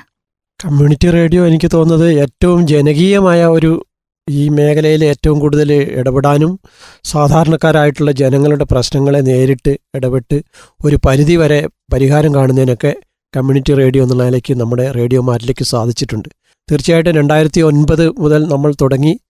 ഏതാണ്ട് പന്ത്രണ്ട് വർഷം പിന്നിട്ട് നമുക്കറിയാം സമസ്ത മേഖലയിലുള്ള മേഖലകളിലുള്ള ആൾക്കാരുടെ വിവിധ വിഷയങ്ങളെ സംബന്ധിച്ച് വിവിധ പരിപാടികൾ നമുക്കിവിടെ സം പിന്നെ പങ്കെടു നടത്താൻ സാധിച്ചിട്ടുണ്ട്. പ്രത്യേകിച്ച് ചില ചില ഫോണിംഗ് പരിപാടികൾ അതുപോലെ മറ്റ് പ്രാധാന്യമുള്ള വിഷയങ്ങളൊക്കെ തന്നെ നമുക്ക് വേണ്ടതുപോലെ ജനങ്ങളിൽ എത്തിക്കാൻ സാധിക്കുന്നുണ്ട്. അത് മറ്റ് ഏതൊരു മാധ്യമത്തെക്കാളും കൂടുതൽ ചെയ്യാൻ സാധിക്കുന്നതാണ്. ഉദാഹരണത്തിന് നമുക്കറിയാം നമ്മുടെ റേഡിയോ മാറ്റലി തന്നെ തുടങ്ങിയിട്ടുള്ള ഈ മാറ്റലിക്കൂട്ടം അല്ലെ ഗ്രാമമാറ്റലി എന്നൊക്കെ പറയുന്ന പരിപാടികൾ നമ്മൾ ചെയ്തുകൊണ്ടിരിക്കുന്നതാണ്. അപ്പോൾ ജനങ്ങൾക്ക് നേരിട്ട് പരിപാടികൾ അവതരിപ്പിക്കാനുള്ള ഒരു അവസരം എന്ന് പറയുന്നത് ഇത്തരം റേഡിയോ മാറ്റലി പോലെയുള്ള കമ്മ്യൂണിറ്റി റേഡിയോ ഒരു പിന്നെ അതിനുള്ള ഒരു സാധ്യത കൂടുതൽ ഉണ്ടാക്കി കൊടുക്കുന്നുണ്ട്. അപ്പോൾ അത് തീർച്ചയായിട്ടും മറ്റ് റേഡിയോയിൽ നിന്നൊക്കെ തന്നെ വ്യത്യസ്തമായ ഒരു കാര്യമാണ്. തീർച്ചയായിട്ടും അതായത് നമുക്കറിയാം നമ്മുടെ പ്രദേശം എന്ന് പറയുന്നത് കർഷകരും കർഷക തൊഴിലാളികളും അതുപോലെ തന്നെ ആദിവാസി ജനവിഭാഗങ്ങളൊക്കെ തന്നെ അധിവസിക്കുന്ന ഏറ്റവും അധികം കഷ്ടത അനുഭവിക്കുന്ന ഒരുപാട് ആൾക്കാർ അധിവസിക്കുന്ന ഈ പ്രദേശത്തുള്ള ജനങ്ങളുടെ പ്രശ്നങ്ങളിൽ അപ്പോൾ ഇടപെടുന്നതിനും ബന്ധപ്പെട്ട വകുപ്പുകളിലൊക്കെ തന്നെ അതിന്റെ ഇടപെടൽ നടത്തിക്കൊണ്ട് ഒരു പരിധി വരെ അവരുടെ പ്രശ്നങ്ങളൊക്കെ പരിഹരിക്കുന്നതിന് നമുക്ക് സാധിക്കുന്നത് എന്താണെന്ന് വെച്ചാൽ ഈ റേഡിയോയുടെ ഏറ്റവും വലിയ ശക്തി എന്ന് പറയുന്നത് ഇതിന്റെ ശ്രോതാക്കൾ തന്നെയാണ്. അപ്പോൾ ശ്രോതാക്കളുടെ ആവശ്യങ്ങൾ നിരന്തരം മനസ്സിലാക്കി അതിനൊരു പരിധി വരെ പരിഹാരം കാണാൻ നമുക്ക് കഴിയുക എന്നുള്ളത് തന്നെയാണ് നമ്മൾക്ക് ചെയ്യാൻ പറ്റുന്ന ഏറ്റവും വലിയൊരു സേവനം എന്ന് പറയുന്നത്. ഒരു കാര്യം കൂടി ഇതിന്റെ കൂട്ടത്തിൽ കൂട്ടിച്ചേർക്കാനുള്ളത് ഗോത്ര വിഭാഗങ്ങൾക്ക് വേണ്ടിയിട്ട് റേഡിയോ മാറ്റൊലി നടത്തപ്പെടുന്ന പരിപാടികൾ. പ്രത്യേകിച്ച് അവരുടെ ഭാഷയിൽ വാർത്തകളും ബോധവൽക്കരണ പരിപാടികളും മറ്റുമൊക്കെ നടത്തുന്നത് എനിക്ക് തോന്നുന്നത് കമ്മ്യൂണിറ്റി റേഡിയോയുടെ സാധ്യതകൾ എത്രമാത്രം ഉണ്ടാകും എത്രമാത്രം ഈ പറയുന്ന വളരെ മാർജിനലൈസ്ഡ് ആയിട്ടുള്ള ആളുകളുടെ അടുത്തേക്ക് എത്താൻ സാധിക്കുമെന്നുള്ളതിന്റെ ഒരു തെളിവായിട്ടും കൂടി നമുക്ക് അംഗീകരിക്കേണ്ടതുണ്ട്. തീർച്ചയായും അതുപോലെ തന്നെ സാമൂഹിക റേഡിയോ മുന്നേറ്റത്തെക്കുറിച്ച് പറയുമ്പോൾ ഏറെ അഭിമാനം നമുക്കുണ്ട്. കേരളത്തിൽ റേഡിയോ മാറ്റിലിയാണ് ഈ ഒരു പ്രസ്ഥാനത്തിന് തുടക്കം കുറിച്ചത്. ഇപ്പോൾ പതിമൂന്നാം വർഷത്തിൽ നമ്മൾ എത്തിയിരിക്കുകയാണ്. രണ്ടായിരത്തി ഒൻപത് ജൂൺ ഒന്നിനാണ് ഇന്ത്യയിലെ അഞ്ചാമത്തേതും കേരളത്തിലെ ആദ്യത്തേതുമായിട്ട് റേഡിയോ മാറ്റുലി സമാന്തര മാധ്യമ മുന്നേറ്റമായിട്ട് ആരംഭിച്ചത്. സാമൂഹിക റേഡിയോയുടെ ദർശനവും ദൗത്യവുമൊക്കെ പ്രാവർത്തികമാക്കുന്ന ഒരു പരിധിവരെ പ്രാവർത്തികമാക്കാൻ കഴിഞ്ഞുപോയ പന്ത്രണ്ട് വർഷങ്ങളിൽ സാധിച്ചു എന്നുള്ളത് വലിയൊരു നേട്ടം തന്നെയാണ്. ആദ്യകാലം മുതൽ റേഡിയോ മാറ്റുലിയോടൊപ്പം സഞ്ചരിച്ച മാറ്റുലിയെ കേട്ട വ്യക്തികളാണ് ഷാജു സാറും ചന്ദ്രശേഖരൻ സാറും. മാറ്റുലി വന്ന നാൾ വഴികളെക്കുറിച്ച് എന്താണ് സാറിന് പറയാനുള്ളത്? ഞാൻ Mananthavady Marymatha arts and science കോളേജിലെ അധ്യാപകനായിരുന്നു. അന്ന് റേഡിയോ മാറ്റുലിയുടെ പ്രഥമ station director father Thomas Therakam Marymatha കോളേജിലുണ്ടായിരുന്നു. അദ്ദേഹമാണ് ആദ്യമായിട്ട് ഞാനൊരു ജേർണലിസം അധ്യാപകനായിട്ട് പോലും ഈ കമ്മ്യൂണിറ്റി റേഡിയോ എന്ന് പറയുന്ന ഒരു സംരംഭത്തെ പറ്റിയിട്ട് സംസാരിക്കുന്നത്. അത് ശരിക്കും വിഭാവനം ചെയ്തിരുന്നത് മേരിമാത കോളേജിലായിരുന്നു. മേരിമാത കോളേജിലെ വിദ്യാർത്ഥികളെ ഒക്കെ പങ്കെടുപ്പിച്ചുകൊണ്ട് ഒരു ഒരു ഒരു പ്രോഗ്രാമാണ് അദ്ദേഹം വിഭാവനം ചെയ്തിരുന്നത്. പിന്നെ എനിക്ക് തോന്നുന്നത് മറ്റു പല സാങ്കേതിക കാരണങ്ങൾ കൊണ്ടൊക്കെയാണ് അത് കുറേയും കൂടി ആ, ഒരു സ്ഥലം എന്നുള്ള രീതിയിൽ ഇങ്ങോട്ടേക്ക് വന്നത്. എനിക്ക് തോന്നുന്നത് ഇതിന്റെ പ്രഥമ സ്റ്റേഷൻ ഡയറക്ടർ എന്നുള്ള രീതിയിൽ തോമസ് തേരകത്തച്ഛന്റെ ഒരു ഒരു വിഷൻ ഈ റേഡിയോ മാറ്റുലിക്ക് വലിയ രീതിയിൽ ഒരു മുതൽക്കൂട്ടായിരുന്നു. ഇന്ന് നമ്മൾ കാണുന്നത് പോലെ വയനാട്ടുകാരുടെ ശബ്ദമായി എല്ലാവരുടെയും ശബ്ദമായി പ്രത്യേകിച്ച് ഗോത്രവിഭാഗങ്ങളുടെയൊക്കെ ശബ്ദമായി മാറുന്നതിന് ഉള്ള ഒരു വിഷൻ തയ്യാറാക്കുകയും അത് വലിയ രീതിയിലുള്ള വെല്ലുവിളികൾ നേരിട്ടുകൊണ്ട് തന്നെയാണ്. കാരണം ഇപ്പോൾ പറഞ്ഞു കേരളത്തിൽ ആദ്യമായിട്ട് തുടങ്ങിയ ഒരു റേഡിയോ സ്റ്റേഷനാണ്. ഇതിന്റെ കടമ്പകൾ ഏറെയാണ്. ഇതിന്റെ അനുവാദം കിട്ടുന്നത് നമ്മൾ വിചാരിക്കുന്ന പോലെ അത്ര എളുപ്പമല്ല. അപ്പോൾ ഇതിനെയൊക്കെ മറികടന്ന് എനിക്ക് തോന്നുന്നത് അദ്ദേഹം ഈ ഇത്തരം ഒരു സംരംഭം ഇവിടെ കൊണ്ടുവരികയും അത് ഇന്ന് എല്ലാ വിഭാഗം ആളുകളും നെഞ്ചിലേറ്റിയ ഒരു മാധ്യമമാക്കി മാറ്റിയെടുക്കാനായിട്ട് സാധിച്ചിട്ടുണ്ട്. അതിന് എല്ലാവരും തോമസ് തേരകത്ത് അച്ഛൻ മുതലുള്ള റേഡിയോ മാറ്റലിയിലെ ഓരോ ഇതുമായിട്ട് പ്രവർത്തിക്കുന്ന എല്ലാവർക്കും അഭിമാനിക്കാവുന്ന ഒരു കാര്യമാണ് എന്നാണ് എന്റെ അഭിപ്രായം. ശ്രോതാവ് എന്ന രീതിയിൽ മാറ്റുലിയുടെ വഴികൾ എങ്ങനെ നോക്കിക്കാണുന്നു ചന്ദ്രശേഖരൻ സർ? ഷായ് സാർ പറഞ്ഞതുപോലെ തന്നെയാണ്. നമ്മൾ തുടക്കത്തിൽ ഒരുപാട് പ്രതിസന്ധികളൊക്കെ നേരിട്ടുകൊണ്ടാണ് റേഡിയോ മാറ്റുലിയുടെ ഈ പന്ത്രണ്ട് വർഷക്കാലം പിന്നെ ഇവിടെ വരെ എത്തിയത് നമ്മൾ ഈ കാലഘട്ടത്തിലൊക്കെ തന്നെ അന്നുള്ളതിൽ നിന്ന് ഒരുപാട് മാറ്റം നമുക്ക് ഇന്ന് ഈ കാലഘട്ടത്തിൽ ഇപ്പോഴും ഉണ്ടായിട്ടുണ്ട്. നേരത്തെ സൂചിപ്പിച്ചതുപോലെ നമ്മുടെ പിന്നെ അന്നത്തെ സ്റ്റേഷൻ ഡയറക്ടർ ആയിട്ടുള്ള ഫാദർ തോമസ് ജോസഫ് തേരകം അതിനുശേഷം വന്നിട്ടുള്ള ശ്രീ സെബാസ്റ്റ്യൻ പുത്തേലച്ചൻ ഇപ്പോൾ അതുപോലെ തന്നെ ബിജോ അച്ഛന്റെയൊക്കെ നേതൃത്വത്തിൽ വലിയ ഒരു ടീമാണ് നമ്മുടെ മാറ്റിലിയുടെ പ്രവർത്തനത്തിൽ മുന്നോട്ട് നയിക്കാനുള്ള അതിന്റെ പ്രവർത്തനത്തിൽ ചുക്കാൻ പിടിച്ചുകൊണ്ടിരിക്കുന്നത്. തീർച്ചയായിട്ടും നമ്മൾ ആ തുടക്കത്തിൽ ഉണ്ടായിരുന്ന ഒരുവിധം പ്രശ്നങ്ങളൊക്കെ പരിഹരിച്ചുകൊണ്ട് നല്ല രീതിയിൽ നമുക്കിതിന്റെ പ്രവർത്തനങ്ങൾ മുന്നോട്ട് കൊണ്ടുപോകാൻ സാധിക്കുന്നുണ്ട്. പ്രത്യേകിച്ചും നേരത്തെ ഷായി സാർ പറഞ്ഞതുപോലെ തന്നെ സമൂഹത്തിന്റെ എല്ലാ മേഖലകളിലുള്ള ആൾക്കാരുടെ പരിപാടികളും അവരുടെ വിഷയങ്ങളൊക്കെ തന്നെ നല്ല രീതിയിൽ അവതരിപ്പിക്കുന്നതിനും ജനങ്ങളിൽ എത്തിക്കുന്നതിനും കഴിഞ്ഞു. അത് തീർച്ചയായിട്ടും വളരെ അഭിമാനകരമാണ്. മാറ്റുലയിൽ വന്നതിന്റെയും പരിപാടികളുടെയും ഒക്കെ വെളിച്ചത്തിൽ അഷ്റഫ് സാർ നേരത്തെ പറഞ്ഞിരുന്നു. ഇതിനോട് കൂട്ടിച്ചേർത്ത് മാറ്റുള്ളിയെ വിലയിരുത്താമോ? തീർച്ചയായിട്ടും. ഞാൻ പറഞ്ഞല്ലോ. സർക്കാർ പദ്ധതികളെക്കുറിച്ച് റേഡിയോ മാറ്റൊലിയിലൂടെ പരിപാടികൾ വരുമ്പോൾ അത് കേൾക്കാൻ വയനാട് ജില്ലയിൽ ശ്രോതാക്കളുണ്ട്. അതിന്റെ നേട്ടം ജനങ്ങളിലേക്ക് വീണ്ടും തിരിച്ചെത്തുകയും ചെയ്യുന്നുണ്ട്. ഒരു ലൈവ് പരിപാടി അവതരിപ്പിക്കുമ്പോൾ ഒരുപാട് ശ്രോതാക്കൾ വിളിച്ചു. അതിനുശേഷം ആ പദ്ധതിയുമായി ബന്ധപ്പെട്ട നിരവധി ചോദ്യങ്ങൾ നമ്മൾ ഓഫീസിലേക്ക് വന്നു. അപേക്ഷകൾ വാങ്ങിക്കൊണ്ടുപോകുന്നു. അങ്ങനെ വരുമ്പോൾ ഇതിന്റെ പെട്ടെന്ന് തന്നെ ഇതിന്റെ ഫലമുണ്ടാവുകയാണ്. ആ നിലയിൽ പറഞ്ഞതുപോലെ നമുക്ക് നമുക്കറിയാം നിരക്ഷരായ സാധാരണക്കാരിൽ വരെ വിനോദവും വിജ്ഞാനവും എത്തിക്കുന്നതിൽ ഇതുപോലുള്ള റേഡിയോ സ്റ്റേഷൻ വലിയ പങ്കാണ് നിർവഹിക്കാനുള്ളത് പലപ്പോഴും പലരും റേഡിയോ സെറ്റ് തൊട്ടടുത്ത് വെച്ച് കിടന്നുറങ്ങുന്നവരെ ഉണ്ട് വയനാട് ജില്ലയിൽ. എനിക്ക് ഞാൻ എന്റെ ഒഫീഷ്യലായിട്ടുള്ള കാര്യം വെക്കുമ്പോൾ തന്നെ എനിക്ക് പറയാൻ കഴിയും. ഞാൻ ഷാജ് സാറിനറിയാം അറിയാം ഫീൽഡിൽ പോയിട്ട് അന്വേഷണം നടത്തുന്ന ഒരു ഓഫീസർ കൂടിയാണ് ഞാൻ ജില്ലാ പ്രൊബേഷൻ ഓഫീസർ എന്ന നിലയിൽ. അപ്പം പല വീടുകളിലും പോകുമ്പോൾ അവരുടെ തൊട്ടടുത്ത് തന്നെ ഒരു കൂട്ടുകാരനായിട്ട് റേഡിയോ ഉണ്ട്. അവർ കേട്ടുകൊണ്ടിരിക്കുന്ന പല പരിപാടികളും റേഡിയോ മാറ്റൂരിൽ നിന്നുള്ള പരിപാടികൾ തന്നെയാണ്. ആ നിലയ്ക്ക് നോക്കുമ്പോൾ തീർച്ചയായിട്ടും ഇവിടെ പ്രക്ഷേപണം ചെയ്യുന്ന പരിപാടികൾ അവർക്ക് വേണ്ടിയുള്ളതാണെന്ന് അവർ മനസ്സിലാക്കി വെച്ചിട്ടുണ്ട്. അതിന്റെ അടിസ്ഥാനത്തിലുള്ള നേട്ടങ്ങൾ ഈ വയനാട് ജില്ലയിൽ ഉണ്ടായിക്കൊണ്ടിരിക്കുന്നുമുണ്ട്. തീർച്ചയായും ഒരുപാട് സന്തോഷം റേഡിയോ മാറ്റിലിയെക്കുറിച്ച് നല്ല വാക്കുകൾ പങ്കുവച്ചതിന്. ഒരു റേഡിയോ യുഗം അല്ലെങ്കിൽ റേഡിയോ വന്ന ചരിത്രത്തെക്കുറിച്ചാണ് നമ്മൾ ഇത്രയും നേരം പറഞ്ഞത്. ആയിരത്തി തൊള്ളായിരത്തി അൻപത്തിയേഴ് ഓഗസ്റ്റ് പതിനഞ്ചിന് തിരുവനന്തപുരം നിലയത്തിൽ നിന്നും മലയാളം വാർത്ത പ്രക്ഷേപണം ചെയ്ത് തുടങ്ങിയതാണ്. ഇന്നിവിടെ വരെ മാറി മാറി വന്ന നവമാധ്യമങ്ങളുടെ മുന്നിൽ പകിട്ട് തെല്ലും കുറയ്ക്കാതെ റേഡിയോ സ്റ്റേഷനുകൾ പോകുന്നു. റേഡിയോയുടെ ഇന്ന് പരിശോധിക്കുകയാണെങ്കിൽ എങ്ങനെ നമുക്കതിനെ വിലയിരുത്താൻ കഴിയും? വാർത്തകൾ സെക്കൻഡുകളുടെ വേഗത്തിൽ ലഭ്യമാകുമ്പോൾ എത്ര പേർ റേഡിയോയെ ആശ്രയിക്കുന്നുണ്ട് എന്നതൊരു ചോദ്യമല്ലേ? ചോദ്യം ഷാജു സാറിനോടാണ്. തീർച്ചയായിട്ടും വാർത്തകൾ വളരെ പെട്ടെന്നും വേഗത്തിലും എത്തിക്കാൻ പറ്റുന്ന നിരവധി മാധ്യമങ്ങൾ നമുക്ക് നിലവിൽ അവൈലബിൾ ആണ് നമ്മുടെ കയ്യിലുള്ള ഒരു സ്മാർട്ട് ഫോണിലൂടെ വിവിധങ്ങളായ വാർത്ത ആപ്പിലൂടെയൊക്കെ നമുക്ക് അത്തരത്തിലുള്ള ഫ്ലാഷ് ന്യൂസുകളും ബ്രേക്കിംഗ് ന്യൂസുകളൊക്കെ നമുക്ക് കിട്ടും. പക്ഷേ റേഡിയോ അത്തരം സാഹചര്യത്തിൽ പോലും നമുക്ക് ഞാൻ ഒരു ഉദാഹരണത്തിന് പറയുകയാണെങ്കിൽ നമ്മൾ യാത്ര ചെയ്യുന്ന സമയത്ത് മറ്റുമൊക്കെ അല്ലെങ്കിൽ നമ്മൾ മറ്റ് പല മേഖലകളിൽ പ്രവർത്തിക്കുന്ന സമയത്ത് നമുക്ക് റേഡിയോ ഒരു തടസ്സക്കാരനല്ല.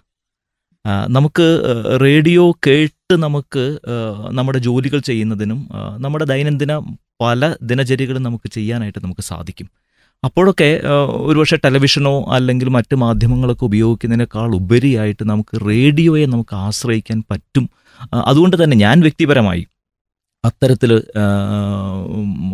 റേഡിയോ പ്രോഗ്രാമുകൾ ധാരാളമായിട്ട് കേൾക്കുന്ന ഒരാളാണ്. ഞാൻ കാറിൽ ഡ്രൈവ് ചെയ്യുന്ന സമയത്ത് ഞാൻ ഉപയോഗിക്കുന്ന ഇത് വയനാട്ടിലായിരിക്കുന്ന സമയത്ത് റേഡിയോ മാറ്റൊലി തന്നെയാണ്. അതുപോലെ തന്നെ മറ്റ് സ്ഥലങ്ങളിലേക്ക് എത്തിക്കഴിഞ്ഞാൽ ഞാൻ എഫ് എം റേഡിയോ ആണ് കേൾക്കുന്നത്. ഞാൻ യാത്ര ചെയ്യുന്ന സമയത്ത് കുടുംബമായിട്ട് യാത്ര ചെയ്യുന്ന സമയത്ത് എന്റെ മകൾ എന്നോട് വേറെ പാട്ടുകൾ കേൾപ്പിക്കാം. സ്പോട്ടിഫൈ എന്ന് പറയുന്ന ഒരു ആപ്പിലൂടെ പാട്ടുകൾ കേൾപ്പിക്കാം. ഒന്ന് രണ്ട് പാട്ടുകൾ കഴിഞ്ഞപ്പോൾ ഞാൻ എന്റെ മകളോട് പറഞ്ഞു ഇത് എനിക്കിത് ബോറിംഗ് ആയിട്ട് തോന്നി കാരണം ഇത് ഒരു പാട്ട് പെട്ടി എന്നുള്ളതിന്റെ അപ്പുറത്ത് അത്തരം ഒരു ആപ്പിന് വേറെ പ്രസക്തി ഉണ്ടെന്ന് എനിക്ക് തോന്നുന്നില്ല. അതേസമയം ഈ റേഡിയോ പ്രോഗ്രാമുകൾ അത് റേഡിയോ മാറ്റുലി ആയാലും മറ്റ് എഫ് എം റേഡിയോകളായാലും അത് കുറേയും കൂടി ഇന്ററാക്റ്റീവ് ആണ്. കുറേയും കൂടി ഇൻഫോർമേറ്റീവ് ആണ്. കുറേയും കൂടി എന്റർടൈനിങ് ആണ്. അതേസമയം അത് വിജ്ഞാനപ്രദമാണ്. വിനോദം ധാരാളമായിട്ട് പ്രദാനം ചെയ്യുന്നതാണ്. അത്തരത്തിൽ എനിക്ക് തോന്നുന്നത് ഈ ഇത്തരം മാധ്യമങ്ങൾക്ക് അതിന്റേതായ ഇടങ്ങളുണ്ട് എന്നാണ് എന്റെ അഭിപ്രായം. അത്തരം ഇടങ്ങൾ നഷ്ടപ്പെട്ടിട്ടില്ല. അത് മറ്റ് മാധ്യമങ്ങൾക്ക് ഒരു പരിധി വിട്ട് കവർന്നെടുക്കാനും സാധിക്കില്ല എന്നുള്ളതാണ് ഞാൻ കരുതുന്നത്. സാറ് പറഞ്ഞതുപോലെ നിലവിൽ റേഡിയോ കേൾക്കുന്നതിനുള്ള സാധ്യതകൾ വളരെ കൂടുതലാണ്. സാറ് പറഞ്ഞു ഡ്രൈവിങ്ങിനിടയിലായാലും മറ്റ് ജോലികൾ ചെയ്യുന്ന സമയത്തും ഒക്കെ കേൾക്കാവുന്ന രീതിയിലേക്ക് റേഡിയോ വളർന്നിട്ടുണ്ട്. മറ്റെല്ലാ മാധ്യമങ്ങളും നമ്മുടെ സമയവും ശ്രദ്ധയും ഏത് സമയവും ആവശ്യപ്പെട്ടുകൊണ്ടിരിക്കുകയാണ്. പക്ഷേ റേഡിയോയ്ക്ക് അത് വേണ്ട. കേൾക്കുന്നതിനൊപ്പം നമുക്ക് എന്ത് ജോലിയും ചെയ്യാം. ഇതിനെങ്ങനെയാണ് അഷ്റഫ് സാർ വിലയിരുത്തുന്നത്? റേഡിയോയുടെ ഏറ്റവും വലിയ ശക്തി അത് തന്നെയാണല്ലോ. വായു ആണല്ലോ മാധ്യമം. അതെ. അതുകൊണ്ട് തന്നെ നമുക്ക് ചെലവില്ലാതെ താരതമ്യേന ചെലവില്ലാതെ ഏറ്റവും കൂടുതൽ വേഗത്തിൽ വിജ്ഞാനവും വിനോദവും കിട്ടുന്ന മറ്റേതൊരു മാധ്യമമാണുള്ളത്. റേഡിയോ തന്നെയേ ഉള്ളൂ. അതുകൊണ്ടാണല്ലോ ആകാശവാണിയാണ് ലോകത്തിലെ ഏറ്റവും ബൃഹത്തായ റേഡിയോ ശൃംഖലകളിൽ ഒന്ന്. രണ്ടായിരത്തി പതിനേഴിലെ കണക്ക് പ്രകാരം നാനൂറ്റി അറുപത്തിയേഴ് പ്രക്ഷേപണ കേന്ദ്രങ്ങൾ ആകാശവാണിക്കുണ്ട്. നാനൂറ്റി മുപ്പത്തൊമ്പത് എഫ് എം സ്റ്റേഷൻ ആകാശവാണിക്കുണ്ട്. എന്താണ് ആകാശവാണിയുടെയും അല്ലെങ്കിൽ റേഡിയോ മാറ്റൊരി പോലുള്ള കമ്മ്യൂണിറ്റി റേഡിയോയുടെയും പ്രത്യേകത? നമുക്കറിയാം ഷൈ സാർ പറഞ്ഞതുപോലെ ഓരോ നിമിഷവും വാർത്തകൾ ഉണ്ടാകുന്ന ഒരു കാലഘട്ടമാണിത്. ഓരോ സെക്കൻഡിലും വാർത്തകൾ ഉണ്ടാവുകയാണ്. വിജ്ഞാന വിസ്ഫോടനത്തിന്റെ കാലഘട്ടം തന്നെയാണ്. പക്ഷേ വാട്സപ്പ് വഴിയോ സോഷ്യൽ മീഡിയ വഴി മറ്റ് സോഷ്യൽ മീഡിയ വഴിയോ വരുന്ന വാർത്തകൾ പലപ്പോഴും ഇന്ന് വിശ്വസിക്കാൻ പറ്റില്ല. വ്യാജ വാർത്തകളുടെ കുത്തൊഴുക്കാണ്. വ്യാജ വാർത്തകളുടെ പ്രവാഹമാണ്. അത് ഫാക്ട് ഫൈൻഡർ ഉണ്ടാവേണ്ടിയിരിക്കുന്നു. അവിടെയാണ് റേഡിയോയുടെ പ്രസക്തി കടന്നു വരുന്നത് നമ്മൾ കൊടുക്കുന്ന വാർത്ത ആധികാരികമാണ് സത്യസന്ധമാണ്. ഈ ആധികാരികതയും വിശ്വാസ്യതയുമാണ് റേഡിയോയുടെ ഏറ്റവും വലിയ ശക്തി. വാട്സപ്പിൽ വരുന്ന ഒരു വാർത്ത പിന്നീട് റേഡിയോ കേൾക്കും കേൾക്കുമ്പോഴാണ് ആ വാർത്ത തെറ്റാണെന്ന് ശ്രോതാക്കൾക്ക് ബോധ്യമാവുന്നത്. അവിടെയാണ് റേഡിയോയുടെ ഏറ്റവും വലിയ പ്രസക്തി. മാത്രമല്ല സംഗീതം സാഹിത്യം സംസ്കാരം കല ശാസ്ത്രം എന്നിവയുടെ ഒരു സംഗമ വേദിയാണ് റേഡിയോ. ഒരുപക്ഷെ മറ്റൊരു മാധ്യമത്തിനും അത് ചെയ്യാൻ കഴിയില്ല. നിങ്ങൾ നോക്കൂ ടെലിവിഷൻ പ്രൈം ടൈം കാണിക്കുന്നത് എന്താണ്? ജനങ്ങൾക്ക് ആകർഷകമായി തോന്നുന്ന പരിപാടികൾ വിഷയങ്ങളാണ്. പക്ഷേ പ്രൈം ടൈമിൽ റേഡിയോ കേൾപ്പിക്കുന്നത് എന്താണ്? ജനങ്ങൾക്ക് നിത്യ ജീവിതവുമായി ബന്ധപ്പെട്ട പരിപാടികളാണ്. പലപ്പോഴും പൊളിറ്റിക്സിലോ അല്ലെങ്കിൽ രാഷ്ട്രീയത്തിലോ കലയിലെയോ സിനിമയിലെയോ ആളുകൾക്ക് കേൾക്കാൻ താല്പര്യമുള്ള അല്ലെങ്കിൽ കാണാൻ താല്പര്യമുള്ള സംഭവങ്ങൾ മാത്രം ടെലിവിഷൻ കാണിക്കുമ്പോൾ റേഡിയോ പ്രൈം ടൈമിലായാലും എപ്പോഴാണെങ്കിലും ജനങ്ങളുടെ ജീവൽ പ്രശ്നങ്ങളുമായി ബന്ധപ്പെട്ട പരിപാടികളാണ് കാണിക്കുന്നത്. അതുകൊണ്ടാണ് ആകാശവാണിയുടെ പ്രത്യേക സ്റ്റൈൽ പ്രത്യേക രീതി ഇപ്പോഴും ആകാശവാണി തുടരുകയാണ്. കാരണം അതിൽ ശാസ്ത്രീയ സംഗീതമുണ്ട്. എത്ര ടെലിവിഷൻ പരിപാടികൾ ശാസ്ത്രീയ സംഗീതം കാണിക്കുന്നു? എത്ര ടെലിവിഷൻ പരിപാടികളിൽ നമ്മുടെ വയനാട്ടിലെ ഗോത്ര വിഭാഗക്കാരുടെ നാടൻ പാട്ടുകൾ കേൾപ്പിക്കുന്നു? അതൊക്കെ കേൾപ്പിക്കാനും നമ്മുടെ റേഡിയോ മാറ്റലേ ഉള്ളൂ. അല്ലെങ്കിൽ എഫ് എം റേഡിയോ സ്റ്റേഷനുകളേ ഉള്ളൂ. അതുകൊണ്ട് അല്ലെങ്കിൽ ആകാശവാണിയേ ഉള്ളൂ. അതുകൊണ്ട് തന്നെ പിന്നെ ഞാൻ പറഞ്ഞു ഇതിന്റെ ഒരു സംഗമ വേദിയായിട്ട് ഇപ്പോഴും റേഡിയോയ്ക്ക് തന്നെ നിലനിൽക്കാൻ കഴിയുകയുള്ളൂ. ഇതിനെക്കുറിച്ച് ചന്ദ്രശേഖരൻ സാറിന് എന്താണ് പറയാനുള്ളത്? റേഡിയോയുടെ ഒരു പ്രാധാന്യം മറ്റുള്ള ഒന്നിനും ഇല്ലാത്ത രീതിയിൽ നമുക്ക് ചെയ്യാൻ സാധിക്കും. നേരത്തെ പറഞ്ഞതുപോലെ തന്നെ നമുക്കറിയാം എന്ത് ജോലി ചെയ്യുന്നതിനും ഒരു തടസ്സമല്ല. റേഡിയോ കേൾക്കുക എന്ന് പറഞ്ഞാൽ നമുക്കറിയാം രാവിലെ തൊട്ട് വൈകുന്നേരം വരെ വീട്ടമ്മമാരൊക്കെ തന്നെ റേഡിയോ തുറന്നു വെച്ചിട്ട് ആ സമയങ്ങളിലൊക്കെ അവരുടെ ജോലി ചെയ്തുകൊണ്ടിരിക്കുകയാണ്. അപ്പോൾ അവരുടെ ജോലിക്കൊന്നും ഒരു തടസ്സം സംഭവിക്കുന്നില്ല. മറ്റ് മാധ്യമങ്ങളൊക്കെ ആണെങ്കിൽ നമ്മുടെ സമയവും കവർന്നെടുക്കും. പരിപാടികളും നമ്മൾ മാറ്റിവെക്കേണ്ടി വരും. അപ്പോൾ അത്തരം ഒരു വിഷയമൊന്നും റേഡിയോയുടെ കാര്യത്തിൽ ഉണ്ടാകാറില്ല. പ്രത്യേകിച്ചും നമ്മൾ ഏറ്റെടുക്കുന്ന പരിപാടികൾ ഏറ്റവും നല്ല രീതിയിൽ ജനങ്ങളിൽ എത്തിക്കുന്ന ഒരു മാധ്യമം എന്നുള്ള നിലയിൽ ഉദാഹരണത്തിന് നമുക്കറിയാം. ഇപ്പം റേഡിയോ മാറ്റിലി നടത്തുന്ന പല പരിപാടികളും മറ്റൊരു മാധ്യമം ഏറ്റെടുത്ത് നടപ്പാക്കാൻ ബുദ്ധിമുട്ട് അനുഭവപ്പെടുന്ന നമുക്ക് തോന്നുന്നത്. ഉദാഹരണത്തിന് നേരത്തെ സൂചിപ്പിച്ചതുപോലെ ആദിവാസി വിഭാഗങ്ങളുടെ പ്രശ്നങ്ങളൊക്കെ തന്നെ തുടിച്ചത്തം എന്ന പരിപാടിയിൽ കൂടി നമ്മൾ ജനങ്ങളിലെത്തിക്കുന്നു അതുപോലെ തന്നെ മറ്റ് പല പരിപാടികളും ജനങ്ങളിലെത്തിക്കാൻ ഇത്രയേറെ ഒരു നല്ല മാധ്യമം റേഡിയോ തന്നെയാണ്. അതിന്റെ പ്രസക്തി കൂടിക്കൂടി വരികയാണ്. അത് ഒരു കാലത്തും അത് നഷ്ടമാവില്ല. അതിന്റെ മുന്നോട്ടുള്ള അതിന്റെ പ്രയാണം കൂടുതൽ കൂടുതൽ പ്രാധാന്യത്തോടു കൂടി തന്നെയാണ് പോയിക്കൊണ്ടിരിക്കുന്നത്. റേഡിയോയുടെ ഇന്നിനെക്കുറിച്ചാണ് നമ്മൾ പറഞ്ഞുകൊണ്ടിരുന്നത്. തീർച്ചയായും ഇന്നലകളെക്കുറിച്ചും ഇന്നിനെക്കുറിച്ചും പറഞ്ഞപ്പോൾ ഭാവിയിൽ റേഡിയോ എങ്ങനെ പ്രവർത്തിക്കും എന്നുള്ളതിനെക്കുറിച്ചുകൂടി നമ്മൾ ചിന്തിക്കേണ്ടിയിരിക്കുന്നു. വിവരസാങ്കേതിക വിദ്യയും നവമാധ്യമ സാധ്യതകളുമൊക്കെ ദൈനംദിനം വളർന്നുകൊണ്ടിരിക്കുകയാണ്. പത്തോ ഇരുപതോ വർഷങ്ങൾക്ക് ശേഷം റേഡിയോ എന്ന മാധ്യമത്തിന്റെ സ്ഥാനം എവിടെയായിരിക്കും എന്ന് ചോദിച്ചാൽ അഷ്റഫ് സാറിന് എന്താണ് പറയാനുള്ളത്? ഈ ചോദ്യം കേൾക്കുമ്പോൾ ഓർമ്മ വരുന്നത് ആയിരത്തി തൊള്ളായിരത്തി മുപ്പത്തെട്ട് ജൂൺ പതിനാറിനാണ് ആകാശവാണിയുടെ മദ്രാസ് സ്റ്റേഷൻ ഉദ്ഘാടനം ചെയ്തത്. അന്നത്തെ ഗവർണർ ജനറൽ സി രാജഗോപാലാചാര്യായിരുന്നു ഉദ്ഘാടനം നിർവഹിച്ചത്. അദ്ദേഹത്തിന്റെ വളരെ പ്രശസ്തമായ പ്രസംഗമുണ്ട്. ആ വരികൾ ഇങ്ങനെയാണ്. ഇത് ആകാശത്തെ കീഴടക്കുന്ന ഒരു അത്ഭുതമാണ്. ശബ്ദത്തിന് സഞ്ചരിക്കാനുള്ള ഒരു പകരക്കാരൻ. ആകാശം തീവണ്ടിയെപ്പോലെ ശബ്ദങ്ങളെ അതിവിദൂരങ്ങളിലേക്ക് കൊണ്ടുപോകുന്നു. എന്നാൽ ഈ സ്വരങ്ങൾ നല്ലതും പ്രചോദനപ്രദവുമാകണമെങ്കിൽ അവന് ഗുണം ചെയ്യുന്നതായിരിക്കണം.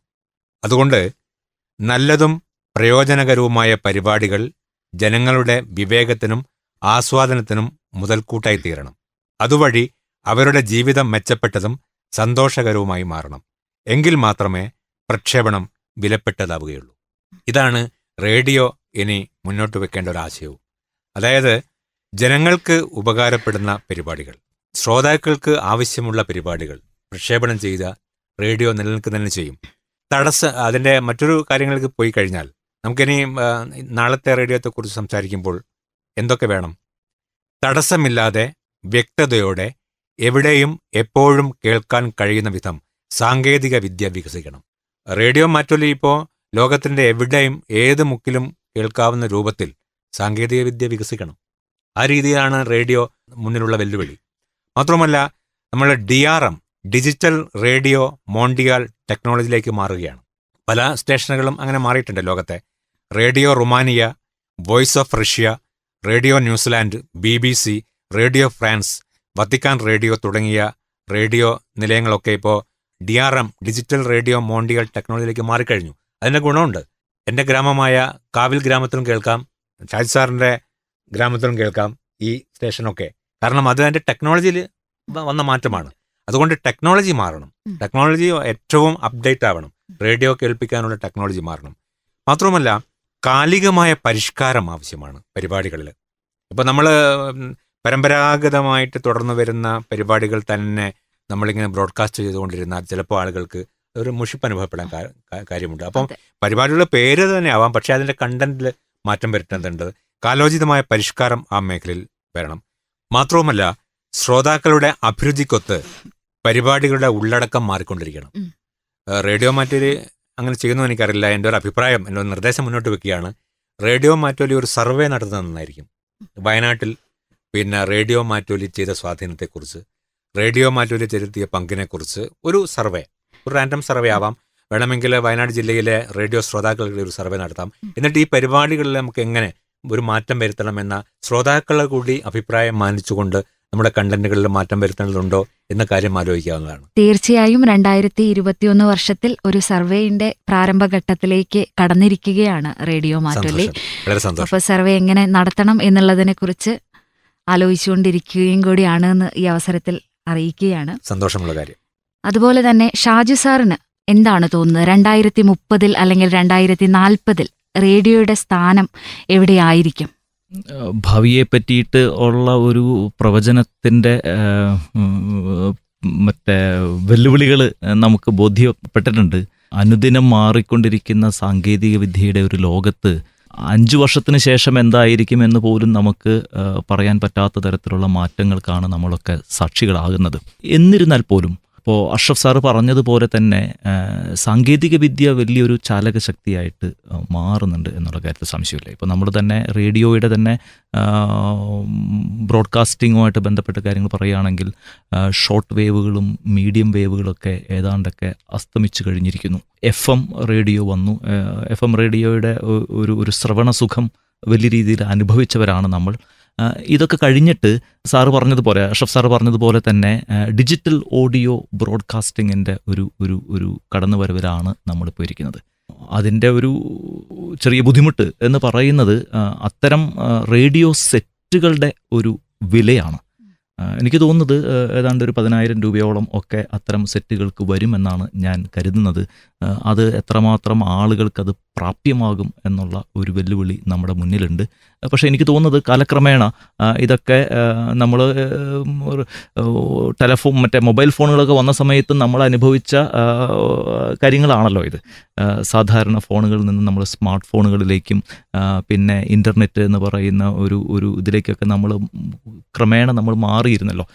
അത് അത്ര പെട്ടെന്നൊന്നും സാധിക്കില്ല എന്ന് നമ്മൾ കരുതിയിരുന്നുവെങ്കിൽ പോലും സാങ്കേതിക വിദ്യകൾ വിദ്യകൾ ഇതൊക്കെ വളരെ അഫോർഡബിൾ ആയിട്ടുള്ള ടെക്നോളജി ആയിട്ട് മാറ്റിയെടുക്കുകയും മറ്റൊക്കെ ചെയ്തിട്ടുണ്ട്. അപ്പോൾ തീർച്ചയായിട്ടും ഈ ഡിജിറ്റൽ ഓഡിയോ ബ്രോഡ്കാസ്റ്റിംഗ് എന്ന് പറയുന്ന ഒരു രീതിയിലേക്ക് നമ്മളുടെ ഒരു ട്രാൻസ്മിഷൻ മാറും മറ്റൊക്കെ ചെയ്തു കഴിഞ്ഞാൽ എനിക്ക് തോന്നുന്നത് റേഡിയോയെ നമുക്ക് ഇതിനേക്കാളും ജനകീയമാക്കുന്നതിനും ഇതിനേക്കാളും സ്വീകാര്യത കിട്ടും എന്നുള്ളതാണ് എന്റെ അഭിപ്രായം. അത് തീർച്ചയായിട്ടും ഇനി എനിക്ക് തോന്നുന്നത് അതും അധികം അധികം വൈകാതെ തന്നെ നമ്മൾ ആ ഒരു ടെക്നോളജിയിലേക്ക് നമ്മൾ മാറും. അത് അഫോർഡബിൾ ആയിട്ടുള്ള ഒരു ടെക്നോളജി ആയിട്ട് മാറും.